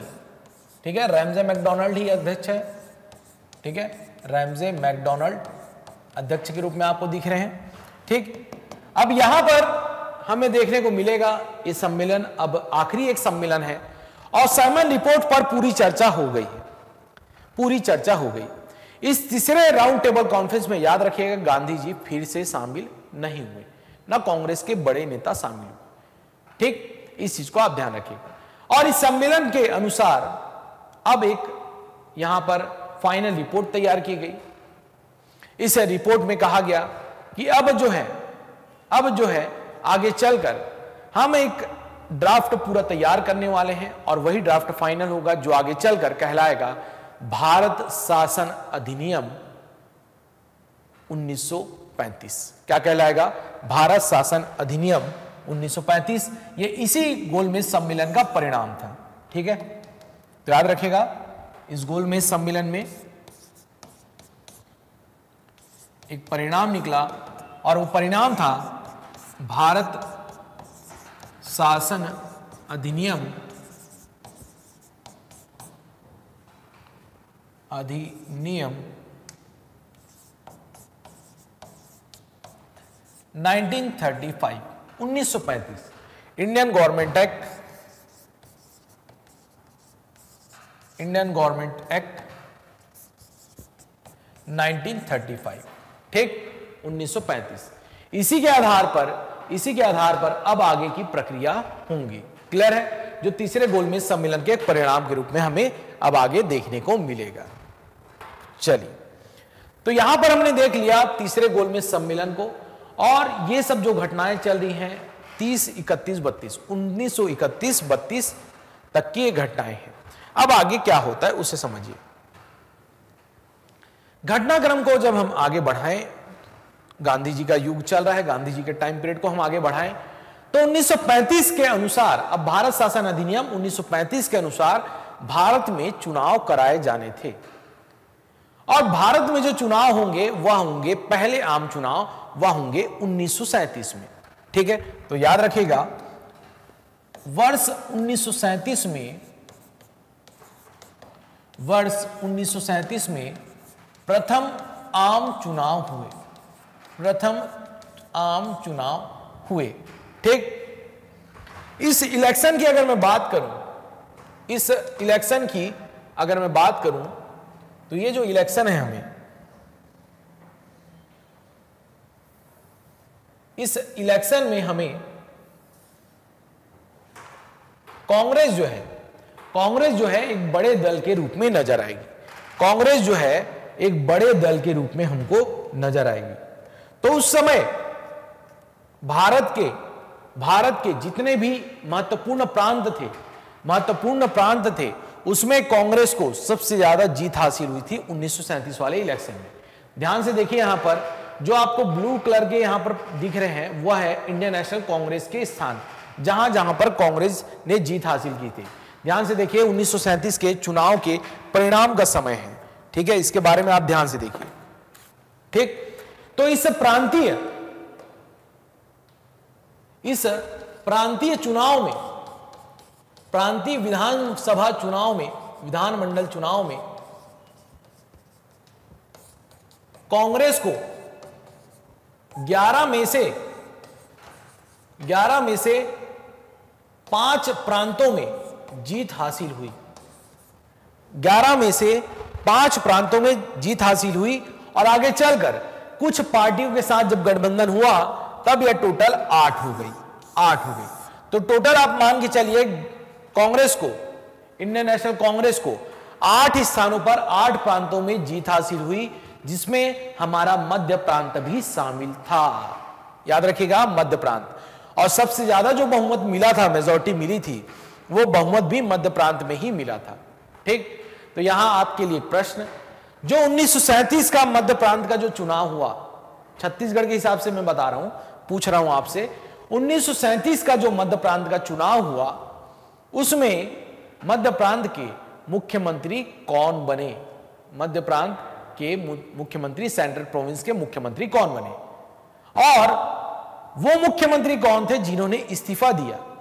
उसके बारे में बताएँगे। यहाँ पर दो घटनाएँ मैंने पूछा कि 1937 का जब चुनाव हुआ तो वहाँ पर मुख्यमंत्री कौन बने और कौन इस्तीफा देने के पश्चात मुख्यमंत्री बना। दोनों नाम आप बताइए। इसके अलावा भी और जुड़ी हुई घटनाओं को आप वहाँ पर कनेक्ट करके बता सकते हैं। कमेंट सेक्शन में ज़रूर बताइएगा। ठीक है? तो ये क्या हुआ? 1937 का चुनाव हुआ, जिसमें कांग्रेस को बहुत बड़ी एक विशाल बहुमत 11 में से करीबन आठ प्रांतों में उन्होंने अपनी सरकार बना ली। आठ प्रांतों में, जिसमें आपका विशेष रहेगा मध्य प्रांत सेंट्रल प्रोविंस विशेष रूप से आपको सेंट्रल प्रोविंस देखने मिलेगा। सेंट्रल प्रोविंस मध्य प्रांत। मध्य प्रांत के अलावा संयुक्त प्रांत है, आपका बिहार है उड़ीसा है, बॉम्बे है, मद्रास है। ये सब पूरे क्षेत्रों में इनको बहुमत मिली थी। ये सब मेजोरिटी वाले क्षेत्र हैं। इसके अलावा असम आदि के भी क्षेत्र, बंगाल असम आदि के क्षेत्र में भी बहुमत इनको अच्छा खासा देखने को मिला। ठीक? चलिए। अब 1937 के चुनाव के पश्चात, ठीक? दो साल, मात्र दो साल 1937 अड़तीस और उनतालीस। मात्र दो साल इनकी सरकार चल पाई। और दो साल के पश्चात कांग्रेस के मंत्रिमंडल के सभी सदस्यों ने इस्तीफा दिया। अब आप बोलेंगे, सर, इतनी अच्छी सरकार बन गई तो सरकार को इस्तीफा देने का कारण क्या था? तो कारण यह था कि उस समय द्वितीय विश्व युद्ध सेकंड वर्ल्ड वॉर की शुरुआत हुई वर्ष 1939 में। उन्नीस में। ध्यान समझते जाइए, जो भी छात्र जुड़े हुए हैं, ये जो घटनाक्रम चल रहे हैं, उसे आप ध्यान समझिए। तो वर्ष उन्नीस में द्वितीय विश्व युद्ध की शुरुआत हुई। और उस युद्ध में युद्ध में ब्रिटिश गवर्नमेंट ने, ब्रिटिश गवर्नमेंट ने कांग्रेस के चुने हुए प्रतिनिधियों से, कांग्रेस के चुने हुए प्रतिनिधियों से, मंत्रियों से बिना सलाह मशवरे के, बिना सलाह मशवरे के इन्हें पूरे भारतीयों को युद्ध में शामिल करने की बात कह दी। भारतीयों को युद्ध में शामिल होने को कर दिया। किसने? अंग्रेज़ों ने। देखिए, आपने गवर्नमेंट बना ली है तो कम से कम गवर्नमेंट के मुख्यमंत्रियों से आठ प्रांत में कांग्रेस के भी मंत्री हैं तो कम से कम इतना तो बनता है कि आप पूछे उनसे। पूछे कि भाई, भारतीय शामिल होना चाहते हैं कि नहीं युद्ध में? कम से कम इतनी बात तो पूछनी चाहिए। परंतु यहाँ पर कांग्रेस से कांग्रेस से बिना सलाह लिए विदाउट एडवाइस यहाँ पर उन्हें शामिल करवा दिया गया, भारतीयों को शामिल करवा दिया और इसी बात का विरोध दर्ज करवाते हुए कांग्रेस के मंत्रिमंडल के सभी सदस्यों ने इस्तीफा दे दिया, इस्तीफा। ठीक? अब जब कांग्रेस के मंत्रिमंडल ने इस्तीफा दिया तो यह बात थी वर्ष उन्नीस के 1939 में उन्होंने इस्तीफा दिया था। और एक दिन था, याद रखिएगा, एक विशेष दिन 22 दिसंबर उन्नीस 22 दिसंबर उन्नीस सौ उनतालीस के दिन कांग्रेस के मंत्रिमंडलों के द्वारा जब इस्तीफा दे दिया गया था तो इस दिन को विशेष रूप से मुस्लिम लीग के द्वारा सेलिब्रेट किया गया। किसके द्वारा? मुस्लिम लीग के द्वारा। याद रखें, मुस्लिम लीग के द्वारा सेलिब्रेट किया गया और मुस्लिम लीग इस बात से खुश हुई क्योंकि उसको तो कहीं पर चुनाव में कहीं जीत हासिल ही नहीं हुई थी। ले दे के एक आध जगह थोड़ा मोड़ा सहयोगी पार्टियों के साथ कोई गठबंधन में कहीं पर सरकार बन गई बन गई, वरना मुस्लिम लीग को कहीं पर बहुमत नहीं मिला था। तो मुस्लिम लीग इस बात से खुशी कि कांग्रेस के मंत्रिमंडल ने इस्तीफा दे दिया है और आज हमें क्या मिल गई है? मुक्ति मिल गई है, मुक्ति। तो मुक्ति दिवस के रूप में मुस्लिम लीग ने इस दिन को सेलिब्रेट किया। याद रखेंगे क्या सेलिब्रेट किया? मुस्लिम लीग ने मुक्ति दिवस मनाया। मुस्लिम लीग ने मुक्ति दिवस के रूप में इसे सेलिब्रेट किया। याद रखिए इस डे को 22 दिसंबर 1939 को 22 दिसंबर 1939 को मुस्लिम लीग के द्वारा यहाँ मुक्ति दिवस के रूप में सेलिब्रेट किया गया। ठीक? घटनाक्रम समझ में आया। 1937 का चुनाव हुआ, कांग्रेस को बहुमत प्राप्त हुआ। दो साल सरकार चल पाई और दो साल के बाद 1939 में इसी सरकार को इस्तीफा देना पड़ा, क्योंकि प्रथम विश्व युद्ध सॉरी, सेकेंड वर्ल्ड वॉर चालू हो गया था और सेकेंड वर्ल्ड वॉर में यहाँ पर कांग्रेस से कोई भी सलाह नहीं ली गई ब्रिटिश गवर्नमेंट के द्वारा। इसी कारण से इस्तीफा हुआ और एक मुक्ति दिवस यहाँ पर मनाया गया। समझ में आ रही बातें? ठीक है? ध्यान समझते जाइए। हम लोग 1939 तक पहुँच चुके हैं। अब अगला घटना क्या होता है, उसे देखिए। ठीक है? उसको देखने से पहले कुछ क्वेश्चन सॉल्व कर लेते हैं, फिर हम लोग आगे बढ़ेंगे। ठीक? बताइए, दांडी यात्रा के साथ निम्नलिखित में से क्या प्रारंभ हुआ था? दांडी यात्रा के साथ कौन सा आंदोलन प्रारंभ हुआ था, इसके बारे में बताइए। सभी बताएँगे कौन सा आंदोलन प्रारंभ हुआ था इसके साथ। सभी बताएँगे इसका जवाब क्या होगा। किसके साथ क्या चालू हुआ? ठीक? तो यहाँ पर देखिए, दांडी यात्रा के साथ निम्नलिखित में से अगर बात करें तो उसके साथ ही साथ सविनय अवज्ञा आंदोलन सिविल डिसओबीडियंस मूवमेंट की शुरुआत हुई थी, मैंने आपको बताया था। 6 अप्रैल 6 अप्रैल 1930 के दिन शुरुआत होगी सविनय अवज्ञा आंदोलन की। दांडी यात्रा के साथ। अगला प्रश्न देखिए। इसका जवाब देने का प्रयास करेंगे। सभी स्टूडेंट यहाँ पर ध्यान से पढ़ेंगे और इसका जवाब देंगे। ठीक है? इसका जवाब देने का प्रयास करें। सभी जितने भी स्टूडेंट जुड़े हुए हैं, इसका जवाब दें। क्या होगा? ध्यान से पढ़िए।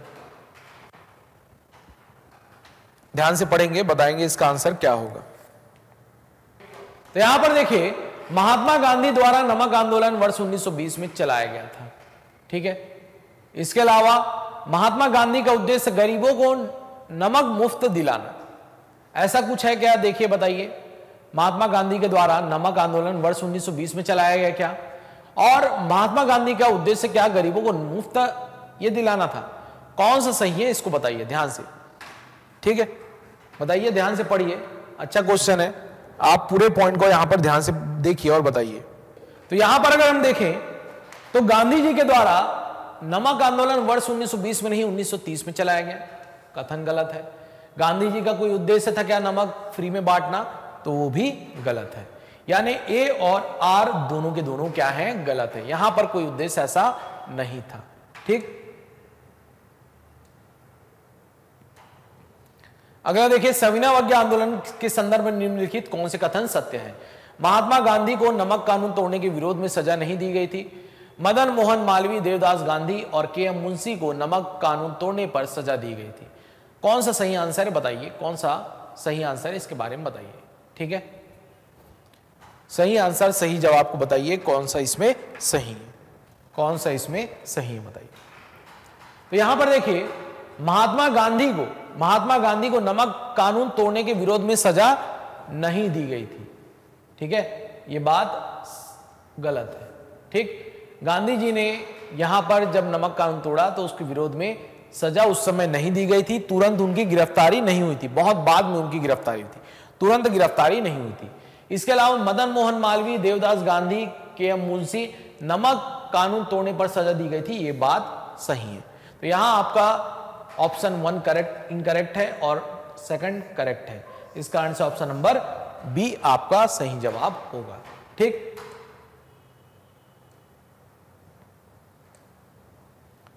अगला देखिए, गढ़वाल रेजिमेंट के सैनिकों ने प्रदर्शन, प्रदर्शनकारियों पर गोली चलाने से इंकार कर दिया था।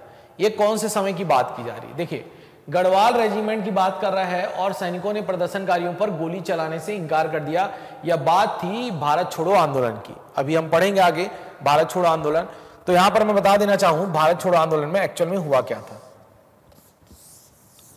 भारत छोड़ो आंदोलन में गांधी जी ने उस समय कहा था कि जो भी सेना में कार्य कर रहे भारतीय हैं, अगर आप भारत भारत छोड़ो आंदोलन क्विट इंडिया मूवमेंट में अपना योगदान देना चाहते हैं तो आप अपनी देशभक्ति दिखाते हुए जो आंदोलनकारी हैं, उन पर गोलियाँ ना चलाएँ। और आप इस प्रकार से आप आपको जॉब छोड़ने की ज़रूरत नहीं। देखिए, यहाँ पर भारत छोड़ो आंदोलन में जॉब छोड़ना या वकालत त्यागना या स्कूल कॉलेज छोड़ने की बात नहीं होगी। भारत छोड़ो आंदोलन में अलग बात रहती है। तो वहाँ पर उन्होंने कहा था कि आप अपने सेवा में कार्य में रहते हुए कार्य में रहते हुए आप आंदोलन का समर्थन कीजिए। और आंदोलन का समर्थन रेजिमेंट के लोगों ने, गढ़वाल रेजिमेंट के सैनिकों ने कैसे किया कि प्रदर्शनकारियों पर गोली चलाने की, जब इनको कहा गया तो उन्होंने गोलियाँ नहीं चलाई। और एक प्रकार का उन्होंने क्या दिखाया यहाँ पर? गांधी जी के प्रति समर्थन भी दिखाया और आंदोलन के कार्यों के प्रति भी इनका समर्थन रहा। तो यह क्या था? भारत छोड़ो, आंदोलन के समय की बात है। ठीक? चलिए। चलिए। अब जो है घटनाक्रम आगे बढ़ाते हैं और देखते हैं कि जो 1939 को मुक्ति दिवस और कांग्रेस मंत्रिमंडल ने जो इस्तीफा दिया, उसके बाद अब क्या होता है? ठीक है? प्रश्नों को हम देखते चलेंगे साथ ही साथ और जो चीज़ें, घटनाएँ जो हो रही हैं, उसे भी इंसिडेंट को भी हम लोग देखते बढ़ रहे हैं। ठीक है? आप साथ ही साथ जुड़े रहें। अब हम बात करेंगे मुस्लिम लीग के अधिवेशन की। मुस्लिम लीग। मुस्लिम लीग का लाहौर अधिवेशन। लाहौर अधिवेशन। मुस्लिम लीग का लाहौर अधिवेशन और यह होगा 23 मार्च 1940 को। ठीक? 23 मार्च 1940 को। अब देखिए, यहाँ पर होता क्या है? ये बात 1940 की है, परंतु इसका जो संबंध है, इस अधिवेशन में जो होगा, उसका संबंध अब आपको पीछे मिलेगा। अब समझिए, यहाँ पर होता क्या है? मोहम्मद अली जिन्ना जो है, मोहम्मद अली जिन्ना एक अलग पाकिस्तान, दो राष्ट्र की फॉर्मूले को टू नेशन थ्योरी को आगे बढ़ाना चाहते थे और इनके द्वारा विशेष रूप से इस समय पाकिस्तान की मांग की गई। पाकिस्तान की मांग की गई। ठीक? अब ये जो पाकिस्तान की मांग है, ये अचानक नहीं हुई। इसके पहले मोहम्मद इकबाल ने, मोहम्मद इकबाल ने पहले मुस्लिम लीग के अधिवेशन में दो राष्ट्र की बात कह दी थी। दो राष्ट्र। दो राष्ट्र मतलब एक मुस्लिमों के लिए अलग एक देश होना चाहिए। मुस्लिमों के लिए एक अलग एक दोष होना चाहिए। यह बात मोहम्मद इकबाल ने वर्ष 1930 में कह दी थी। पहले ही। ठीक? जिसे आगे चलकर कैम्ब्रिज यूनिवर्सिटी में पढ़ने वाले चौधरी रहमत अली ने, चौधरी रहमत अली ने वर्ष 1933 में, वर्ष 1933 में नाउ और नेवर, अभी नहीं तो कभी नहीं, इस नाम की पुस्तक में एक शब्द को, एक शब्द का ज़िक्र करते हैं और शब्द से वो बताने का प्रयास करते हैं कि एक मुस्लिमों का देश कैसा होना चाहिए। उसे बताते हैं। और पहली बार चौधरी रहमत अली के द्वारा पाकिस्तान शब्द का प्रयोग किया जाता है। पाकिस्तान। पहली बार इस समय हुआ था। ठीक? और ये कहते क्या है कि पाकिस्तान में क्या क्या होना चाहिए? तो पी से बोलेंगे क्या? पंजाब। कि पाकिस्तान में क्या आना चाहिए? पंजाब का क्षेत्र आना चाहिए। इसके अलावा ए से क्या बोलेंगे? अफ़गानिस्तान कहेंगे। क्या कहेंगे? ए से अफ़गानिस्तान कहेंगे। के से बात करेंगे? कश्मीर की। के से बात करेंगे? कश्मीर की। इसके अलावा, आई से यहाँ पर, ये साइलेंट है। इसके अलावा, एस से हम कहेंगे, सिंध। सिंध के क्षेत्र की बात करेंगे। ठीक है, ध्यान से देखते जाइए। कौन कौन से क्षेत्र आ गया? पंजाब, अफ़गानिस्तान, कश्मीर और सिंध। इसके अलावा लास्ट का जो शब्द है, ये तान, इसका अर्थ है बलूचिस्तान। बलूचिस्तान। क्लियर इतने सभी क्षेत्रों को मिलाकर, इतने जो क्षेत्र हैं, इसे मिलाकर बलूचिस्तान, पंजाब, अफ़गानिस्तान, कश्मीर, सिंध को मिलाकर क्या बनना चाहिए? पाकिस्तान बनना चाहिए। यह बात कही थी किसने चौधरी रहमत अली ने वर्ष 1933 में कह दी। ठीक? अब यही पाकिस्तान शब्द आगे चलकर, अब मोहम्मद अली जिन्ना के द्वारा अधिवेशन जो होगा, लाहौर का अधिवेशन, मुस्लिम लीग का है, कांग्रेस का नहीं है। कांग्रेस के अधिवेशन में डिमांड की जाएगी कि हमारे लिए एक अलग एक देश होना चाहिए। और वो क्या होना चाहिए? पाकिस्तान। ठीक? तो याद रखिएगा, वर्ष 1940 की घटना है, और इसके बाद इसी को विशेष रूप से याद रखने के लिए इनके द्वारा ही हर 23 मार्च 1943 को के दिन से इनके द्वारा ही पाकिस्तान दिवस मनाया जाता है। पाकिस्तान दिवस क्योंकि इस दिन को, इस दिन को ही इन्होंने क्या किया था? डिमांड की थी पाकिस्तान की। ठीक? तो इसको भी आप याद रखिए। चलिए। अब हम आगे बढ़े। तो वर्ष 1940 की चर्चा हो रही है तो वर्ष 1940 में दो घटनाएँ होती हैं। एक होता है,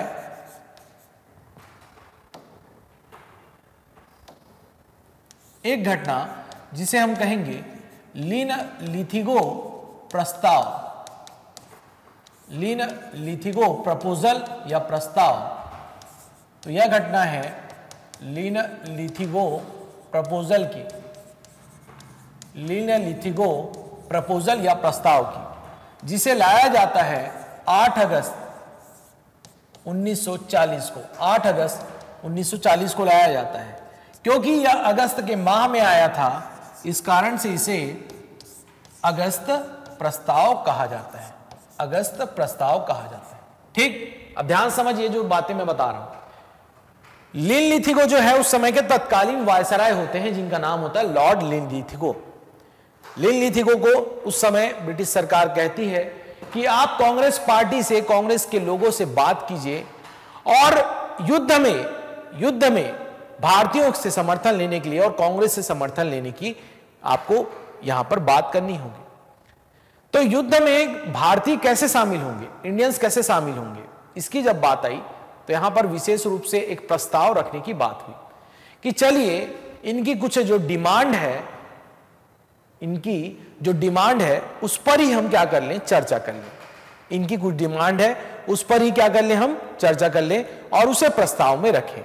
तो वह प्रस्ताव बनाते हुए लिन लिथिको जो है 8 अगस्त को 8 अगस्त को कांग्रेस पार्टी के समय सामने एक प्रपोजल रखता है, जिसमें इनके द्वारा कहा जाता है कि युद्ध के पश्चात, युद्ध के पश्चात आपको औपनिवेशिक स्वराज दिया जाएगा। युद्ध के पश्चात आपको क्या दिया जाएगा? औपनिवेशिक स्वराज दिया जाएगा। औपनिवेशिक स्वराज दिए जाने की बात कही गई साथ ही साथ कहा गया कि एक युद्ध सलाहकार समिति भी बनाई जाएगी। ठीक है?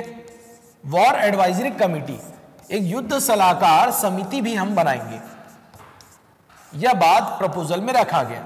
युद्ध सलाहकार समिति की बात कही साथ ही साथ वायसराय की जो काउंसिल है, वायसराय की जो कार्यकारिणी है, वायसराय की कार्यकारिणी कार्यकारिणी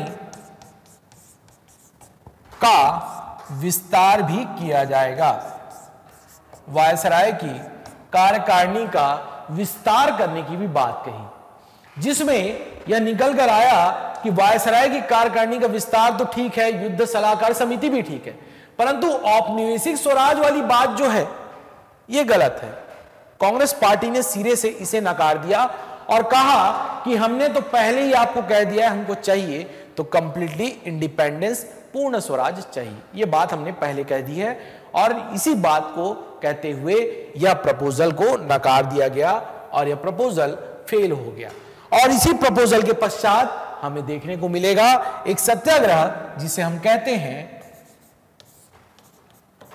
व्यक्तिगत सत्याग्रह। क्या कहते हैं हम इसे? इंडिविजुअल सत्याग्रह, व्यक्तिगत सत्याग्रह, जो होगा 17 अक्टूबर 1940 के दिन, जिसकी शुरुआत होगी 17 अक्टूबर 1940 के दिन। ठीक? इसमें एक नारा भी दिया जाएगा जिसको आप याद रखेंगे। इसमें एक नारा दिया जाएगा, दिल्ली चलो। दिल्ली चलो। ठीक? दिल्ली चलो का एक नारा भी दिया जाएगा। दिल्ली चलो का नारा दिया जाएगा। साथ ही साथ इसमें सत्याग्रह की जो शुरुआत है, इस बार गांधी जी कहेंगे कि इस बार मैं कोई नेतृत्व तो नहीं करूँगा। आपको अपने ही क्षेत्र में इस सत्याग्रह की शुरुआत करनी होगी और अपने ही क्षेत्र में आप व्यक्तिगत रूप से इसमें जुड़ेंगे। तो हमको देखने को मिलते हैं। प्रथम सत्याग्रही, जो इस व्यक्तिगत सत्याग्रह की शुरुआत करेंगे, वो प्रथम सत्याग्रही होंगे। प्रथम सत्याग्रही, जिनका नाम था विनोवा भावे। विनोवा भावे। क्लियर है? प्रथम सत्याग्रही कौन होंगे? विनोवा भावे होंगे। इसके अलावा आपको पूछा जाता है कि द्वितीय सत्याग्रही। द्वितीय सत्याग्रही कौन होंगे? तो द्वितीय सत्याग्रही की जब बात निकलकर आती है तो विनोबा भावे के बाद वो सत्याग्रही होंगे जवाहरलाल नेहरू। जवाहरलाल नेहरू, जो इस सत्याग्रह में शामिल थे। क्लियर है? तो दो सत्याग्रहों के नाम याद रखेंगे, विनोबा भावे और जवाहरलाल नेहरू। क्या आप कमेंट सेक्शन में बता सकते हैं, विनोबा भावे ने सत्याग्रह की शुरुआत कहाँ से की थी? विनोबा भावे ने यह पूछा जाता है, आप बताएँगे कमेंट सेक्शन में, विनोबा भावे ने सत्याग्रह की शुरुआत कहाँ से की थी? ठीक? चलिए। अब यहाँ पर दो सत्याग्रह, यहाँ पर जो सत्याग्रह हुआ, व्यक्तिगत सत्याग्रह, उसके पश्चात अंग्रेज़ों की स्थिति क्या थी, उसे आप देखिए। अब हम आते हैं वर्ष 1942 में। वर्ष 1942 में हमको देखने को मिलता है कि अंग्रेज़ों के ऊपर, ब्रिटिश गवर्नमेंट के ऊपर दबाव बढ़ता जा रहा है। दबाव बढ़ता जा रहा है।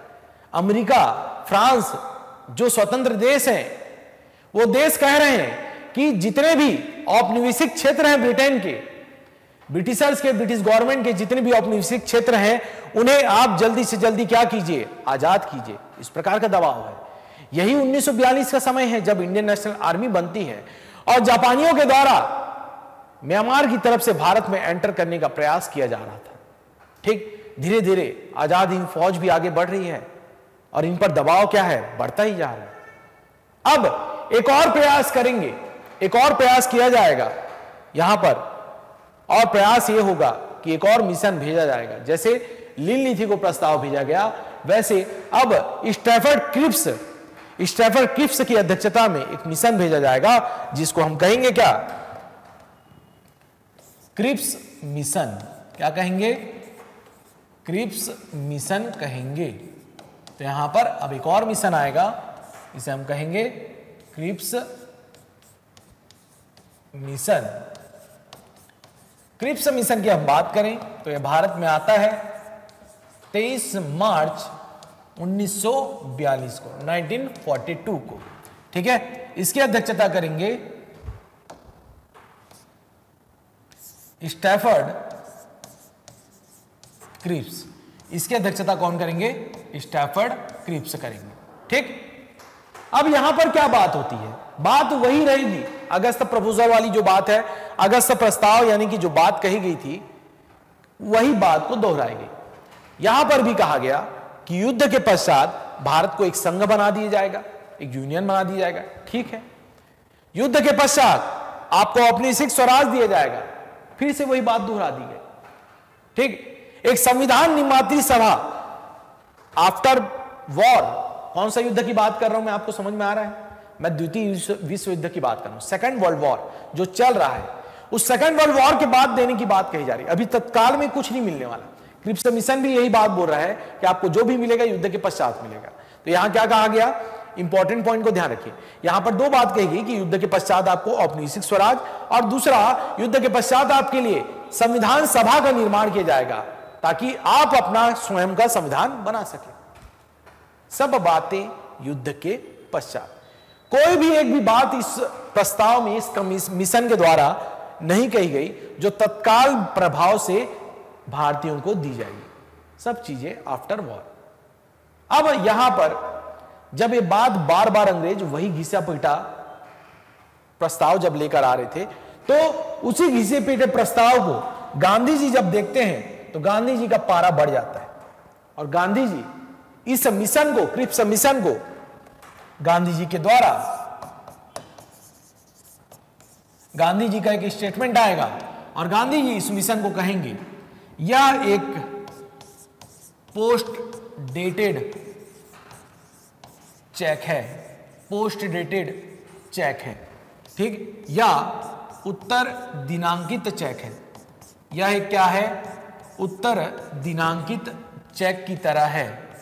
उत्तर दिनांकित चेक की तरह है, जिसमें डेट बाद की लिख दी गई है, यानी पैसा बाद में निकलेगा, ऐसी बात कही जा रही है। हम मांग रहे हैं आज आज़ादी, और बाद में ये लोग टाल रहे हैं, बातों को टाल रहे हैं। ठीक है? तो यहाँ पर इसी एक चेक से कंपेयर करते हुए गांधी जी बोलते हैं कि ये क्या है?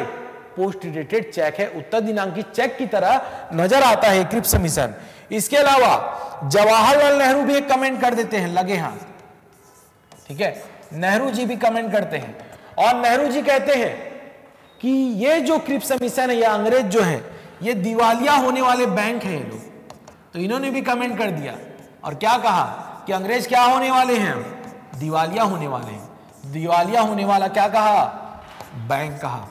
बैंक दिवालिया होने वाला बैंक तो ये दो कमेंट को याद रखिएगा। ये दो कमेंट एग्ज़ाम में पूछे जाते हैं कि गांधी जी ने पोस्ट डेटेड चेक किसे कहा और जवाहरलाल नेहरू ने दिवालिया होने वाला या बैंकरप्ट बैंक किसे कहा? ठीक है? चलिए। अब यहाँ भारतीयों को लगने लगा, कांग्रेस पार्टी को, गांधी जी को भी लगने लगा कि अंग्रेज़ों से जो हम डिमांड कर रहे हैं, वह तो पूरी होती नज़र नहीं आ रही है। और अंग्रेज़ कैसे भी करके यहाँ बात को टालना चाहते हैं। जो हमारी डिमांड है, मांग है, उसे टालना चाहते हैं। ठीक? जब यह बात गांधी जी को समझ में आई तो गांधी जी ने 14 जुलाई 1942 को वर्धा में कांग्रेस वर्किंग कमेटी, कांग्रेस कार्य समिति की एक बैठक बुलाई। और कांग्रेस कार्य समिति में इस बार बैठक में जो चर्चा हुई, उसमें गांधी जी ने कहा, अब जो लड़ाई होगी, अब जो लड़ाई होगी, आंदोलन होगा वो आर पार की लड़ाई होगी, आर पार की लड़ाई होगी। और अब हमें अब हमें यहाँ पर अंग्रेज़ों को कैसे भी करके भारत से बाहर करना होगा, और अब हम एक आंदोलन करेंगे, जिसे कहेंगे क्या? भारत छोड़ो आंदोलन। क्विट इंडिया मूवमेंट ठीक? तो ध्यान से देखिए। यहाँ पर एक वर्धा प्रस्ताव लाया गया। वर्धा प्रस्ताव। वर्धा प्रस्ताव। और ये वर्धा प्रस्ताव था 14 जुलाई। 14 जुलाई 1942 का। जब कांग्रेस वर्किंग कमेटी या कांग्रेस कार्य समिति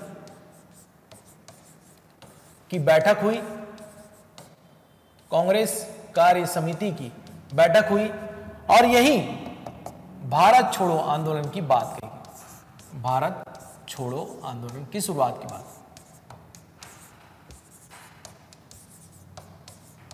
ठीक? एक प्रश्न मैं आपको बता रहा हूँ, उसको ध्यान से देखिए। इसमें जो आप भारत छोड़ो शब्द देख रहे हैं, भारत छोड़ो। ये जो शब्द आप देख रहे हैं, ये भारत छोड़ो शब्द गांधी जी का दिया गया नहीं था। आंदोलन गांधी जी शुरू कर रहे परंतु यह शब्द जो है गांधी जी का दिया हुआ नहीं था। यह भारत छोड़ो, या क्विट इंडिया जो बात कही गई मूवमेंट की, यह शब्द दिया गया था यूसुफ मेहर अली जी के द्वारा। यूसुफ मेहर अली के द्वारा यह शब्द दिया गया था। कौन सा? भारत छोड़ो, आंदोलन शब्द यूसुफ मेहर अली के द्वारा दिया गया था। ठीक? यूसुफ मेहर अली के द्वारा। अब देखिए, यहाँ पर जब भारत छोड़ो आंदोलन की शुरुआत होनी थी तो एक दिन निर्धारित किया गया था और वह दिन था 8 अगस्त 1942 ठीक? आंदोलन की शुरुआत करने के लिए कांग्रेस के सभी प्रांतों से जो नेता इकट्ठा हुए, वह इकट्ठा हुए ग्वालियर टैंक मैदान। ग्वालियर टैंक मैदान।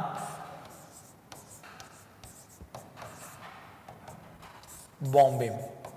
ग्वालियर टैंक मैदान बॉम्बे में 8 अगस्त 1942 को कांग्रेस के सभी नेता यहाँ इकट्ठा हुए और गांधी जी ने आंदोलन की शुरुआत करते हुए एक नारा दिया कि मैं आपको एक मंत्र दे रहा हूँ और इस मंत्र का आप पालन करें और इसी मंत्र पर अब यह आंदोलन चलेगा। और यह मंत्र था, करो या मरो। करो या मरो। डू और डाई डू और डाई किसी भी प्रकार से इस बार हमको आज़ादी चाहिए।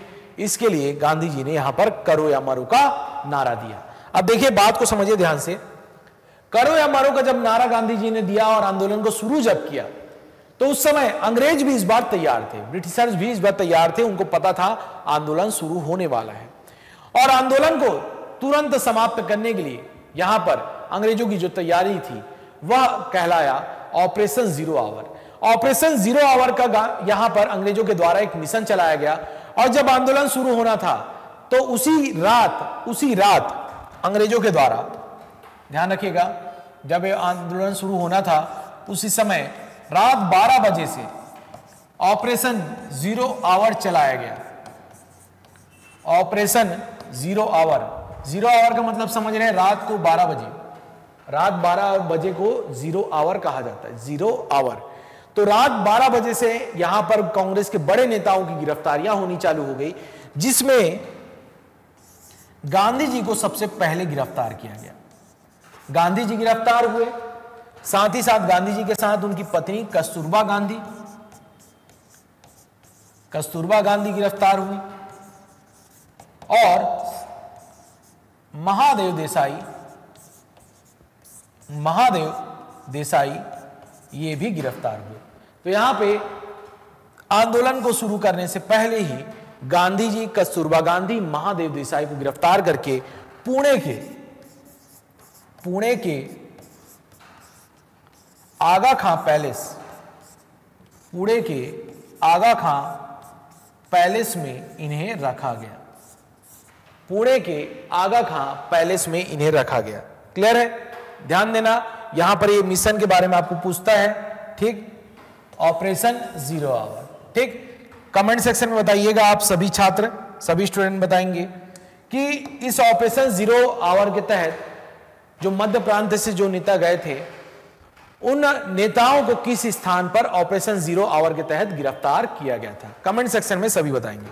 ऑपरेशन ज़ीरो आवर के तहत हमारे मध्य प्रांत के नेताओं की गिरफ्तारी किस स्थान पर की गई थी? किस स्थान पर की गई थी? ठीक?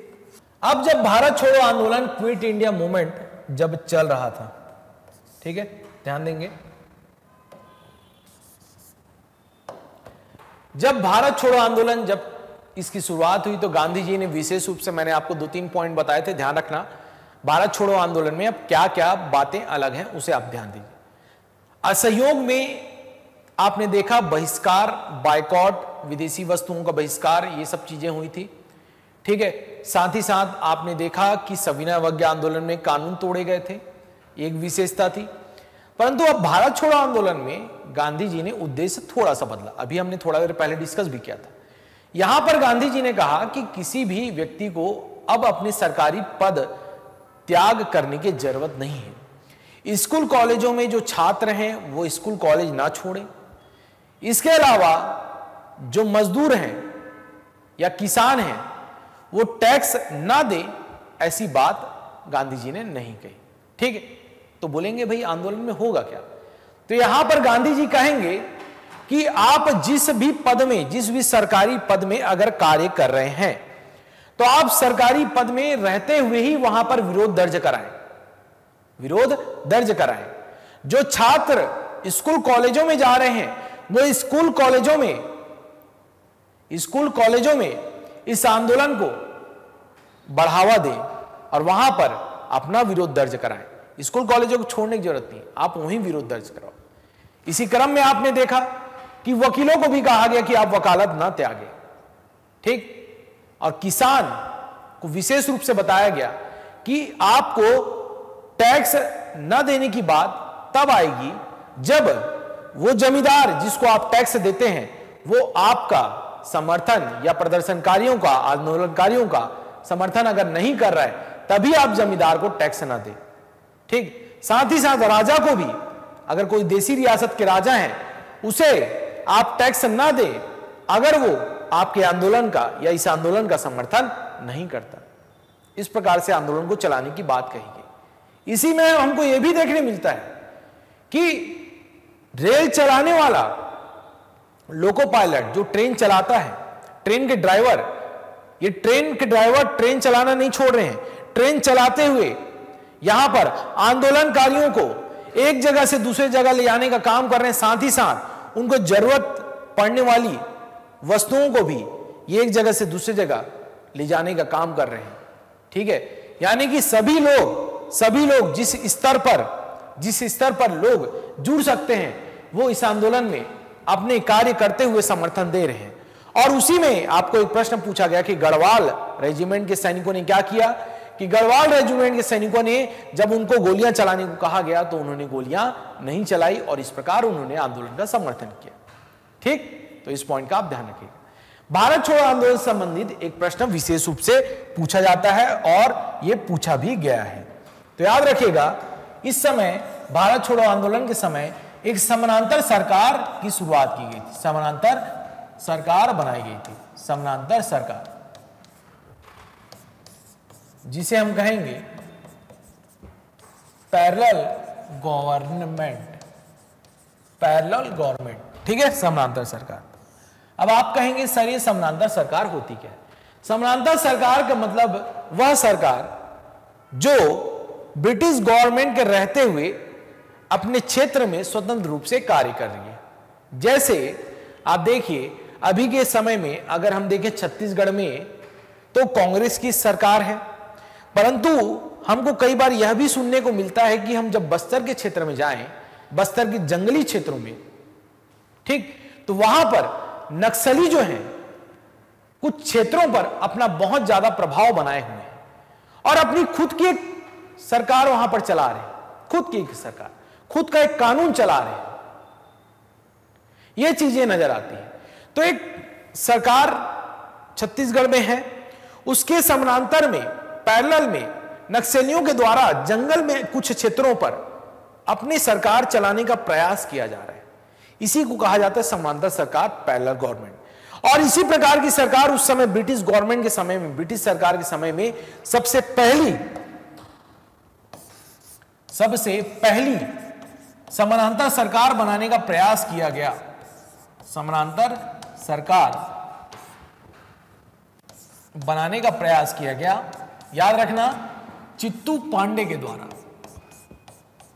चित्तू पांडे के द्वारा समानांतर सरकार बनाई गई और यह समानांतर सरकार जो थी, बलिया में बनाई गई याद रखेंगे कहाँ बनी समानांतर सरकार?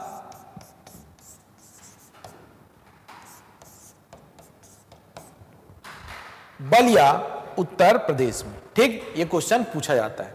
इसके अलावा आपको देखने मिलेगा कि पैरल गवर्नमेंट ऐसा नहीं है कि आपके यूपी के बलिया में बनी।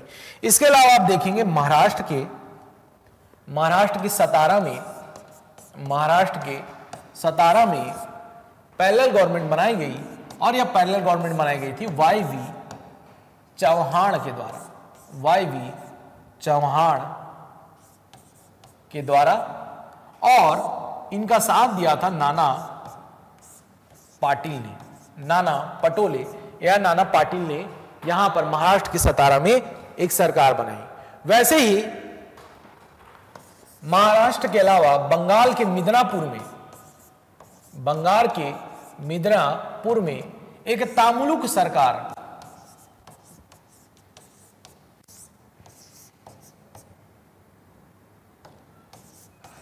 एक तामुलुक सरकार बनाएँगे क्लियर है?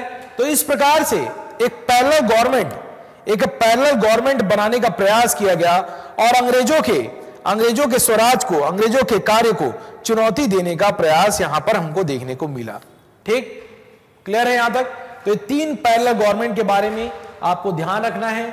एक चित्तू पांडे ने पहली सरकार बनाई, सतारा में वाईवी चौहान ने, मिदनापुर में तामुलिक जाति सरकार एक बनी। ठीक? चलिए। एक और प्रश्न जो है, भारत छोड़ो आंदोलन संबंधित पूछा जाता है, वह है, भूमिगत रेडियो का संचालन, भूमिगत रेडियो का संचालन। तो उस समय भूमिगत रेडियो का संचालन किया गया था उषा मेहता के द्वारा। उषा मेहता के द्वारा एक भूमिगत रेडियो का संचालन किया गया था, बॉम्बे से। ठीक? तो भूमिगत रेडियो क्या है ये? भूमिगत रेडियो का मतलब कि इसकी फ्रीक्वेंसी ऐसी रखी जाती थी कि रेडियो का प्रसारण जब होता था तो ये फ्रीक्वेंसी जो है, केवल आंदोलनकारियों को पता चलती थी, आंदोलनकारियों को।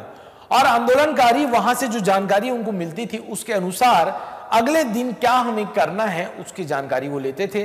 और कहाँ पर अंग्रेज़ आने वाले हैं, उसकी भी जानकारी मिलती थी। तो यहाँ पर उषा मेहता जो है, यहाँ से जो आंदोलनकारी, जो आंदोलन कर रहे हैं, उनको जानकारी देने का कार्य करती थी छुपे रूप में। ठीक है? जिसे हम भूमिगत रेडियो का संचालन कह रहे हैं। ठीक है? यह प्रश्न भी पूछा हुआ है। चलिए, कुछ क्वेश्चन सॉल्व कर लेते हैं, फिर हम आगे बढ़ेंगे।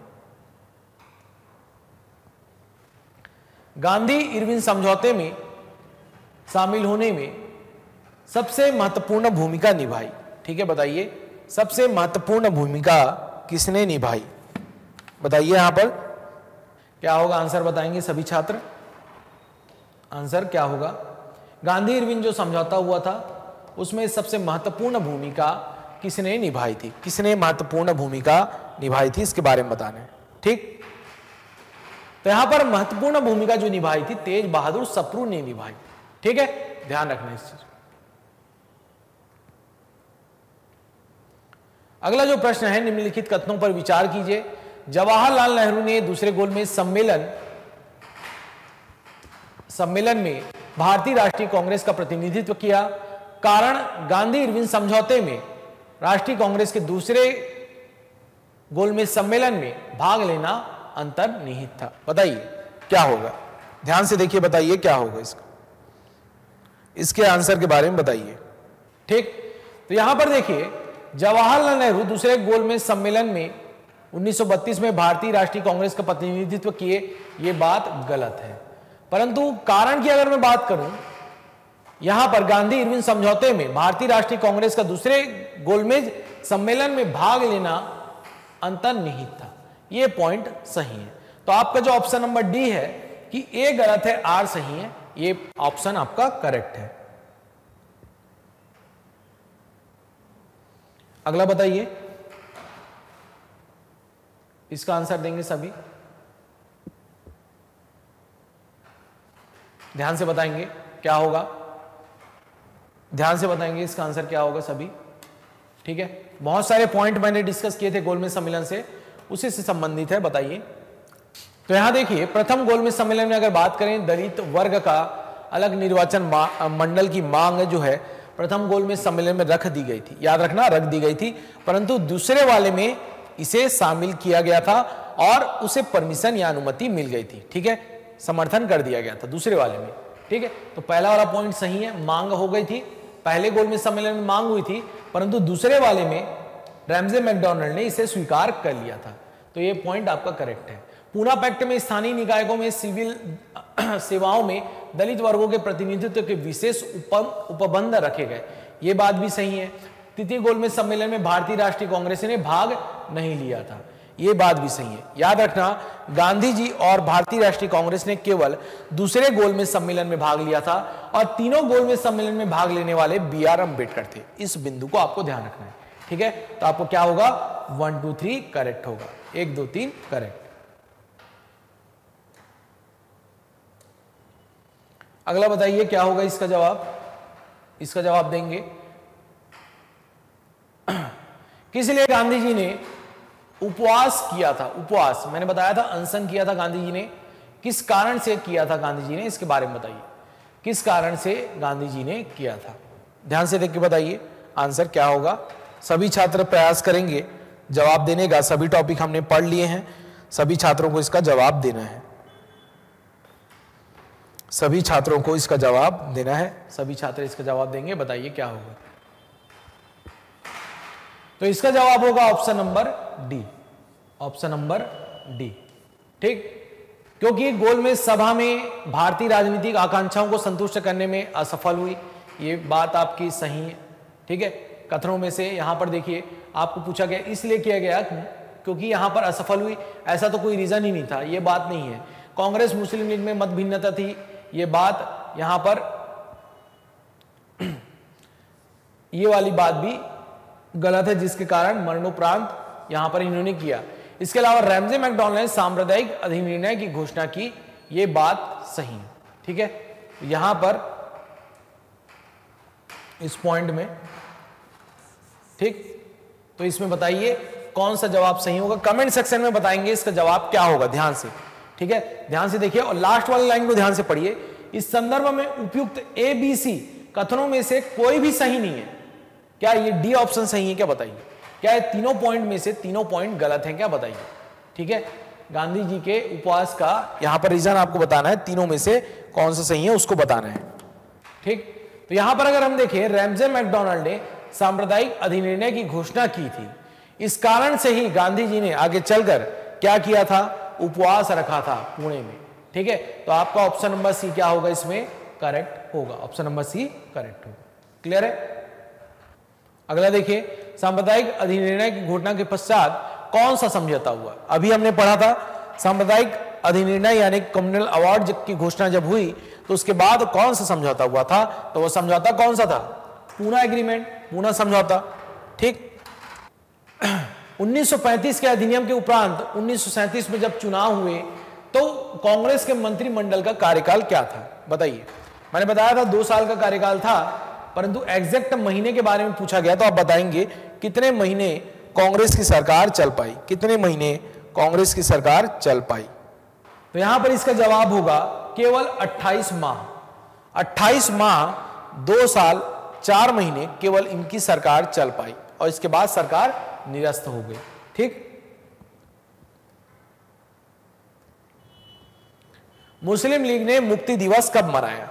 ठीक? तो मैंने बताया था मुस्लिम लीग ने वर्ष उन्नीस 22 दिसंबर उन्नीस सौ उनतालीस के दिन मुस्लिम लीग के द्वारा मुक्ति दिवस मनाया गया। चलिए।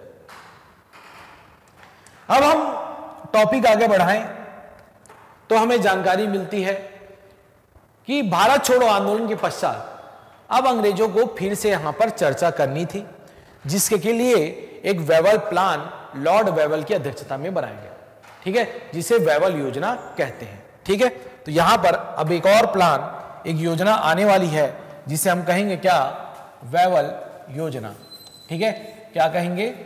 वेवल प्लान वेवल योजना। वेवल योजना, यह जो प्लान लेकर आया जाता है, यह लेकर आया जाता है 14 जून 1945 14 जून 1945 को यह योजना लाई गई। इस योजना के अंतर्गत क्या बात थी, उसे समझिए। ठीक? इस योजना के अंतर्गत लॉर्ड वेवल ने कहा कि जो वायसराय की कार्यकारिणी है वाय सराय की जो कार्यकारिणी है, वायसराय की कार्यकारिणी इसका विस्तार किया जाएगा। वायसराय की कार्यकारिणी का विस्तार किया जाएगा। ठीक है? जिसमें अब जो है वायसराय वायसराय और कमांडर इन चीफ के पद को छोड़कर, कमांडर इन चीफ के पद को छोड़कर अन्य सदस्य जो रहेंगे, अन्य सदस्य में हिंदू और मुस्लिम, हिंदू और मुस्लिम सदस्यों की संख्या संख्या बराबर होगी। हिंदू और मुस्लिमों की सदस्य सदस्यों की संख्या जो है बराबर होगी। ध्यान समझिए, यहाँ पर बोला क्या जा रहा है? जो वायसराय की कमेटी जो तैयार होगी, कार्यकारिणी जो तैयार होगी, उसमें अगर मान लो की बात, यहाँ पर 12 मेंबर है वायसराय की कार्यकारिणी में तो एक उसमें क्या होगा? वायसराय के लिए सीट होगा, वायसराय के लिए एक सीट वायसराय रखेगा एक इसमें कमांडर इन चीफ होगा। एक सीट कमांडर इन चीफ के लिए रहेगा। ठीक है? कमांडर इन चीफ के लिए। तो यहाँ पर बताइए, दो सीट चली गई। एक इसके पास, एक इसके पास तो बची कितनी? दस सीट इस दस सीट को बराबर बराबर हिंदू और मुस्लिम सदस्यों के लिए रखा जाएगा। हिंदू और मुस्लिम। यानी इनके लिए पाँच और इनके लिए पाँच। तो यह बात कही गई थी विशेष रूप से किसमें? वैवल प्लान में, वैवल योजना में कि हिंदू और मुसलमानों के लिए यहाँ पर यहाँ पर बराबर सीटें रखी जाएँगी। मतलब वायसराय की कार्यकारिणी का विस्तार तो हो रहा है और कार्यकारिणी में इस बार विशेष यह है कि भारतीयों को शामिल किया जा रहा है और जो फैसले होंगे अब भारतीयों के द्वारा लिए जाएँगे। ठीक? चलिए। अब देखिए। जब यहाँ हिंदू मुस्लिम की जो सीट बराबर करने की बात हुई, वेवल प्लान की बात हुई तो वेवल प्लान को रखा जाना था कांग्रेस और मुस्लिम लीग के सामने। और कांग्रेस और मुस्लिम लीग के सामने उस समय की ग्रीष्मकालीन राजधानी, ग्रीष्मकालीन यानी गर्मी के समय अंग्रेज़ों की राजधानी अलग हुआ करती थी और वह राजधानी थी शिमला। तो शिमला कॉन्फ्रेंस शिमला कॉन्फ्रेंस का आयोजन किया गया। क्या किया गया? शिमला सम्मेलन का आयोजन किया गया। और यह शिमला सम्मेलन का जो आयोजन हुआ, वह हुआ 25 जून 25 जून 1945 के दिन, जिसमें कांग्रेस के लोगों को बुलाया गया और कांग्रेस की तरफ़ से यहाँ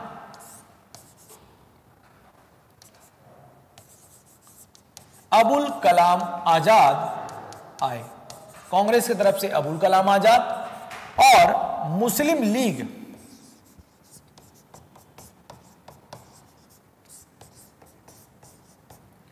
मुस्लिम लीग की तरफ़ से मोहम्मद अली जिन्ना शामिल हुए। मोहम्मद अली जिन्ना यहाँ पर शामिल हुए। ध्यान से देखिए, ये शिमला कॉन्फ्रेंस जो हो रहा है, शिमला सम्मेलन जो हो रहा है, इस शिमला सम्मेलन में कांग्रेस के लोगों को भी बुलाया गया और मुस्लिम प्रतिनिधियों को भी बुलाया गया। जिसमें हम देखते हैं, कांग्रेस की तरफ़ से मौलाना अबुल कलाम आज़ाद आते हैं और मुस्लिम लीग की तरफ़ से हमें देखने को मिलते हैं कौन? मोहम्मद अली जिन्ना देखने को मिलते हैं। अब देखिए, यहाँ पर मामला क्या होता है? शिमला सम्मेलन में होता क्या है? ध्यान समझिए। इस सम्मेलन में मामला क्या गड़बड़ाता है? देखिए। मैंने जैसे बताया कि अब हिंदुओं और मुसलमानों की सीट बराबर कर दी जाएगी। ठीक है यह बात कही गई। ठीक है, जैसे मैंने बताया, एक, दो, तीन, चार, पाँच छ सात, आठ, नौ, दस। ये दस सीट है। दस सीट तो दस सीट किसके लिए रिज़र्व रहेगा? ये पाँच हिंदुओं के लिए रहेगी। ये पाँच हिंदुओं के लिए और ये पाँच मुसलमानों के लिए रहेंगे। ठीक है? ये मान लीजिए। पाँच हिंदू के लिए, पाँच मुसलमानों के लिए रिज़र्व कर दी गई। अब मामला क्या अटकता है उसे समझिए। यहाँ पर बात आई मुस्लिम लीग की। मुस्लिम लीग। मुस्लिम लीग का कहना यह था कि ये जो सीट है, पाँच जो सीट है, इसमें जो मुस्लिम सदस्य शामिल होंगे, या चुनाव में या किसी प्रकार से भाग लेंगे तो ये मुसलमान जो है, ये मुसलमान जो होंगे, ये केवल और केवल मुस्लिम लीग से होंगे। मुस्लिम लीग से होंगे। मतलब ये पाँच मुसलमान मेंबर जो होंगे, सदस्य होंगे, कहाँ से होंगे? मुस्लिम लीग से होने चाहिए। ये किसी और पार्टी से, किसी और अन्य दल से नहीं होने चाहिए। नहीं होने चाहिए। ये बात कही। तो यहाँ पर देखिए, भाई, ऐसा कैसे हो सकता है? हमने तो पाँच सीट मुसलमानों के लिए रिज़र्व की है। हम ये नहीं बोल रहे हैं कि यहाँ पर मुस्लिम लीग के ही मुसलमान यहाँ पर आएँगे। यहाँ पर यह भी हो सकता है कि मुसलमान जो आए, वो कांग्रेस पार्टी से भी आ सकते हैं। ये ओपन रखा गया था कि कांग्रेस पार्टी के मुसलमान यहाँ पर आ सकते हैं। जैसे अबुल कलाम आज़ाद यहाँ पर चुनाव लड़ते और यहाँ पर आ जाते, कोई दिक्कत नहीं है। या चुनकर यहाँ पहुँच जाते। परंतु मुस्लिम लीग ने यहाँ अड़ंगा डाल दिया। उसको तो यह बात पसंद ही नहीं आई। उसका कहना यह था कि मुसलमानों का नेतृत्व करता तो हम ही हैं, कांग्रेस पार्टी नहीं है। और मुस्लिम लीग की तरफ़ से ही क्या होने चाहिए? मुसलमान आने चाहिए। हम ही उनके करता धरता है, हम ही उनके लिए कर रहे हैं सब चीज़। इसीलिए ये पाँच सीट इनको मिलनी चाहिए। और इसी बात पर ये जो वेवल प्लान था वेवल प्लान जो था, इसी मुस्लिम लीग के कारण ये असफल हो गई। क्लियर है? समझ में आया? क्यों? वेवल प्लान आया वर्ष 1945 में और फेल हो गया। ठीक है? तो एक वेवल प्लान आया था, वह भी क्या हो गया? फेल हो गया। समझ में आ रही सब चीज़ें? ध्यान से आप जितने भी पॉइंट आपको बताए जा रहे हैं, उसे समझते जाइए और पढ़ते जाइए। ठीक? देखिए। अगला बिंदु समझिए। अब यहाँ पर ब्रिटेन में चुनाव होता है और ब्रिटेन में लेबर पार्टी के प्रधानमंत्री बनेंगे क्लीमेंट एटली। ठीक है? आप बताएँगे, लेबर पार्टी के अलावा वहाँ पर जो कंजर्वेटिव पार्टी थे, जिसके पूर्व के जो प्रधानमंत्री थे जो हारे थे, उनका नाम क्या था? ठीक है? यहाँ पर अभी ब्रिटेन में चुनाव हो गया है। चुनाव होने के बाद अभी लेबर पार्टी के क्लीमेंट एटली जो है प्रधानमंत्री बन रहे इसके पहले के प्रधानमंत्री कौन थे, इसे कमेंट सेक्शन में बताइए। ठीक? चलिए। तो यहाँ पर क्लीमेंट एटली क्या करेंगे? चुनाव जीत जाएँगे। और क्लीमेंट एटली जो है, लेबर पार्टी के, ये जो है भारतीयों का, भारतीयों के जो स्वराज की बात कर रहे हैं या आज़ादी की बात जो कर रहे हैं, उसका ये समर्थन करते थे। और समर्थन करते हुए अब ये लास्ट एक मिशन भेजने वाले हैं, जिसे कहेंगे हम कैबिनेट मिशन कैबिनेट मिशन ठीक? तो अब भारत में क्या आने वाला है? कैबिनेट मिशन आने वाला है। Cabinet mission cabinet mission Bharat में आएगा। कैबिनेट मिशन की अगर बात करें तो यह आएगा 24 मार्च। 24 मार्च 1946 को। 1946 को। ठीक? इसमें अगर सदस्य की बात करें तो इसमें तीन सदस्य शामिल थे। तीनों को आपको याद रखना है। ठीक? सबसे पहले याद रखेंगे स्टेफर्ड क्रिप्स स्टेफर्ड क्रिप्स ठीक? दूसरे थे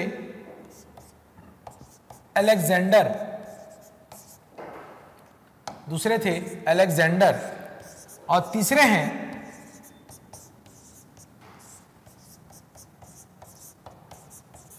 पैथिक लॉरेंस पैथिक लॉरेंस तो क्रिप्स इसमें थे अलेक्जेंडर इसमें थे और लॉरेंस इसमें थे। तीन सदस्य यहाँ पर शामिल थे। और ये तीनों के तीनों ब्रिटिश कैबिनेट के मिनिस्टर थे। इसी कारण से कैबिनेट के मिनिस्टर इस मिशन को लेकर आ रहे हैं। इस कारण से इसका नाम क्या रखा गया? Cabinet mission. कैबिनेट मिनिस्टर होने के कारण नाम क्या पड़ा है? कैबिनेट मिशन, जो भारत आया 24 मार्च 1946 को। 24 मार्च 1946 को।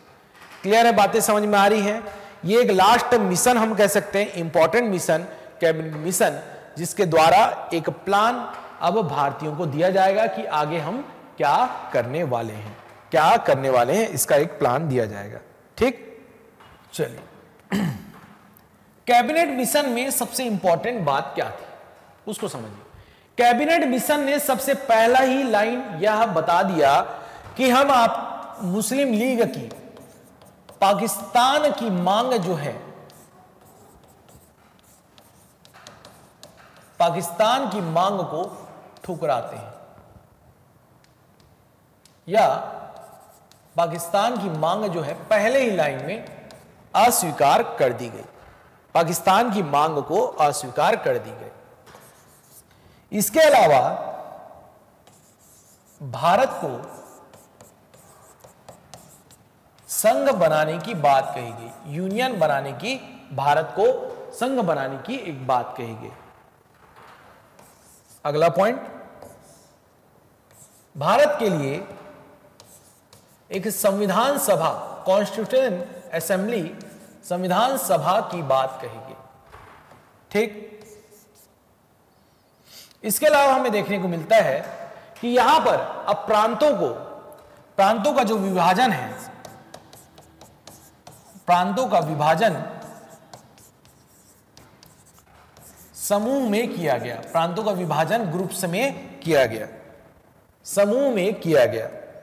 जिसमें पहला एक ग्रुप ए था, जो हिंदू समर्थित जितने भी प्रांत थे, उसे रखा गया था। ग्रुप ए तो इसमें कौन कौन से शामिल थे, याद रखेंगे? इसमें शामिल था मद्रास, इसमें शामिल था बॉम्बे संयुक्त प्रांत संयुक्त प्रांत, मध्य प्रांत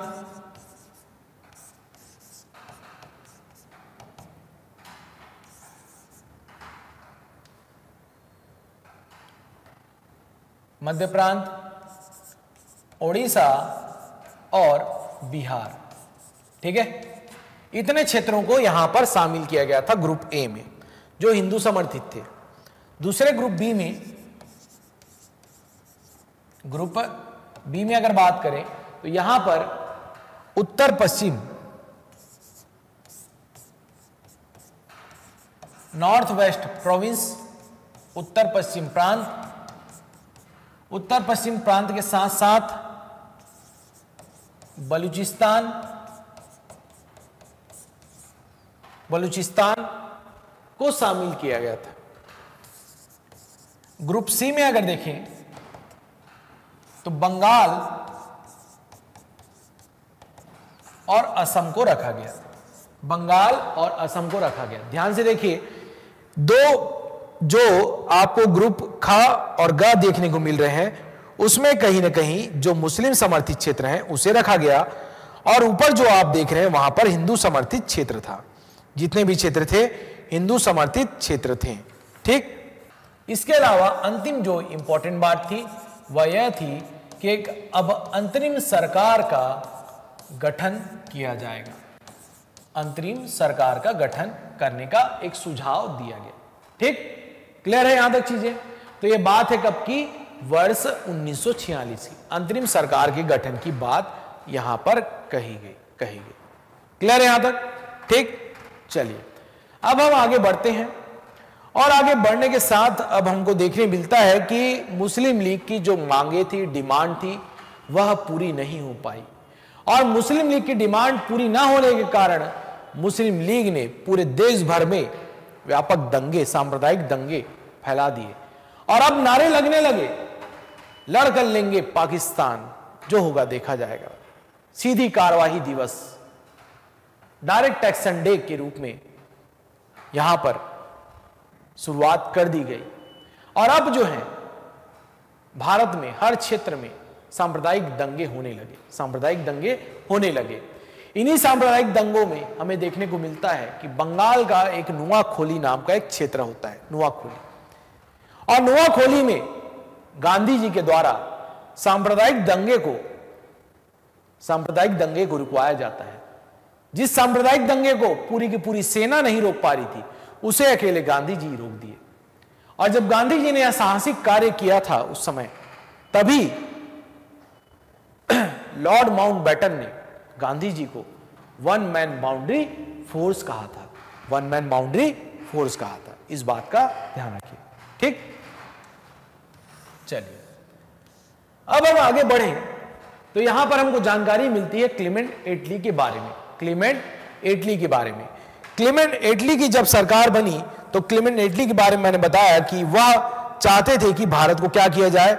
आज़ाद कर दिया जाए। आज़ाद कर दिया जाए।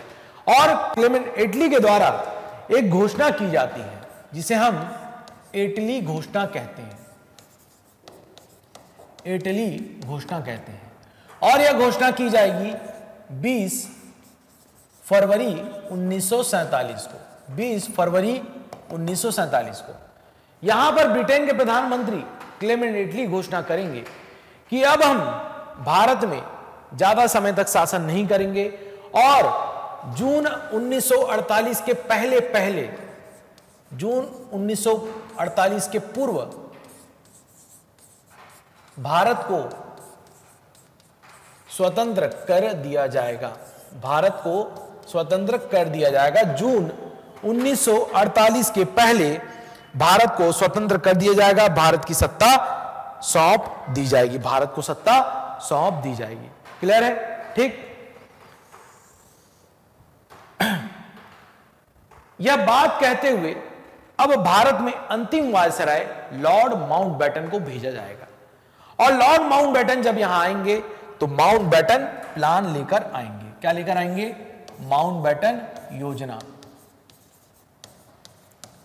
माउंट बैटन प्लान या माउंट बैटन योजना लेकर आएँगे। और यह माउंट बैटन योजना जो है, इसे हम देखते हैं कि योजना जो आई थी, वह 3 जून 1947 को आई थी। ठीक है? 3 जून 1947 को आई थी। ठीक? इसी कारण से इसे हम 3 जून की योजना भी कहते हैं। क्या कहते हैं? 3 जून की योजना भी इस माउंट बैटन प्लान को, इस माउंट बैटन योजना को कहा जाता है। ठीक है? इस योजना के तहत, इस योजना के तहत बात कही जाती है, वह इंपॉर्टेंट बात यह है कि अब जो है, दो राष्ट्र का निर्माण किया जाएगा। दो राष्ट्र का निर्माण किया जाएगा, साथ ही साथ दो संविधानों का निर्माण किया जाएगा। दो राष्ट्र और दो संविधान, दो कॉन्स्टिट्यूंट का निर्माण करने की बात कही। यानी विभाजन की बात कहीं ना कहीं माउंट बैटन प्लान में हमको देखने को मिल जाती है। माउंट बैटन प्लान में देखने को मिल जाती है। इसके पश्चात यहाँ पर कहा जाता है कि विभाजन के लिए, विभाजन के लिए एक सीमा आयोग का गठन किया जाएगा। क्या किया जाएगा? एक सीमा आयोग का गठन किया जाएगा। सीमा आयोग का गठन किया जाएगा। क्लियर है? और सीमा आयोग का गठन का कार्य यह होगा, सीमा बाउंड्री एक कमीशन का कार्य यह होगा कि भारत और पाकिस्तान की एक सीमा बनाए। तो इस तीन नियम की योजना में यह सब बात कह दी गई थी। अब जो है, एक अधिनियम बनेगा, जिसे हम कहेंगे भारत स्वतंत्रता अधिनियम, भारत स्वतंत्रता अधिनियम 1947 भारत स्वतंत्रता अधिनियम, इंडियन इंडिपेंडेंस एक्ट और इसे ब्रिटिश संसद में, ब्रिटिश संसद में भेज दिया जाएगा। ब्रिटिश संसद में भेज दिया जाएगा और माउंट बैटन माउंट बैटन के द्वारा यह पेश किया जाएगा। माउंट बैटन के द्वारा यह ब्रिटिश संसद में पेश किया गया और 18 जुलाई 18 जुलाई 1947 को यह बिल पास हुआ। 18 जुलाई 1947 के दिन भारत स्वतंत्रता अधिनियम, भारत स्वतंत्रता अधिनियम पास कर दिया गया। जिसके अंतर्गत 14 अगस्त 1947 को पाकिस्तान बना और 15 अगस्त 15 अगस्त 1947 को हमारा स्वतंत्र भारत, एक स्वतंत्र भारत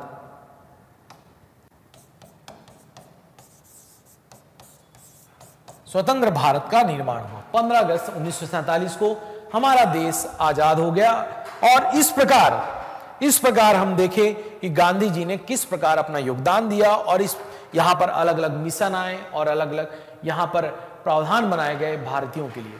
ठीक है? संविधान सभा का भी निर्माण हुआ और संविधान सभा जब तक हमारे यहाँ संविधान नहीं बनेगा मतलब 1946 को संविधान सभा बन जाएगी और 1946 से लेकर उनचास तक यह कार्य चलता रहेगा। और वर्ष उन्नीस सौ उनचास, यानी 26 नवंबर उन्नीस सौ उनचास को जब संविधान बनेगा उसके बाद भारत में आम चुनाव होंगे। तब तक के लिए, तब तक के लिए 1935 के अधिनियम के अनुसार ब्रिटिश सरकार यहाँ पर कार्य करते रहेगी। क्लियर है? तो एक अंतरिम सरकार बनेगी, परंतु वह अंतरिम सरकार तब तक चलेगी जब तक हमारे यहाँ आम चुनाव नहीं हो जाते। ठीक? इसके बाद की जो पूरी कहानी है, आप पॉलिटी में कनेक्ट करते हैं।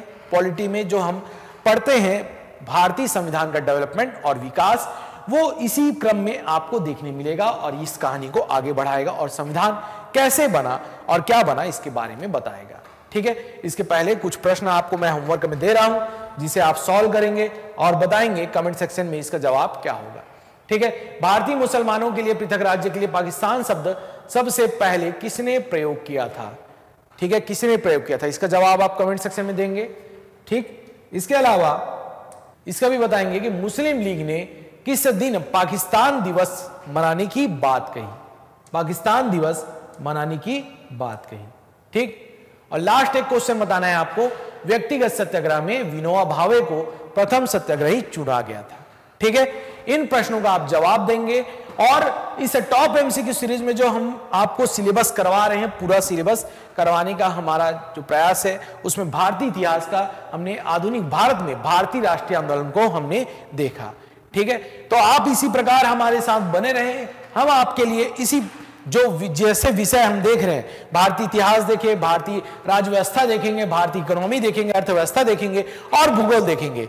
इस प्रकार आप जब जुड़े रहते हैं तो आपकी तैयारी बहुत अच्छी होती है और पीएससी में आप बेहतर प्रयास यहाँ पर कर पाते हैं।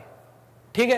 तो आप टॉप एमसीक्यू सीरीज़ में जो हमारे मल्टीपल चॉइस क्वेश्चन की जो सीरीज़ चल रही है, उसमें आप क्वेश्चन के माध्यम से अपनी तैयारी करते रहें और किसी भी प्रकार का डाउट हो तो आप कमेंट सेक्शन में पूछ सकते हैं।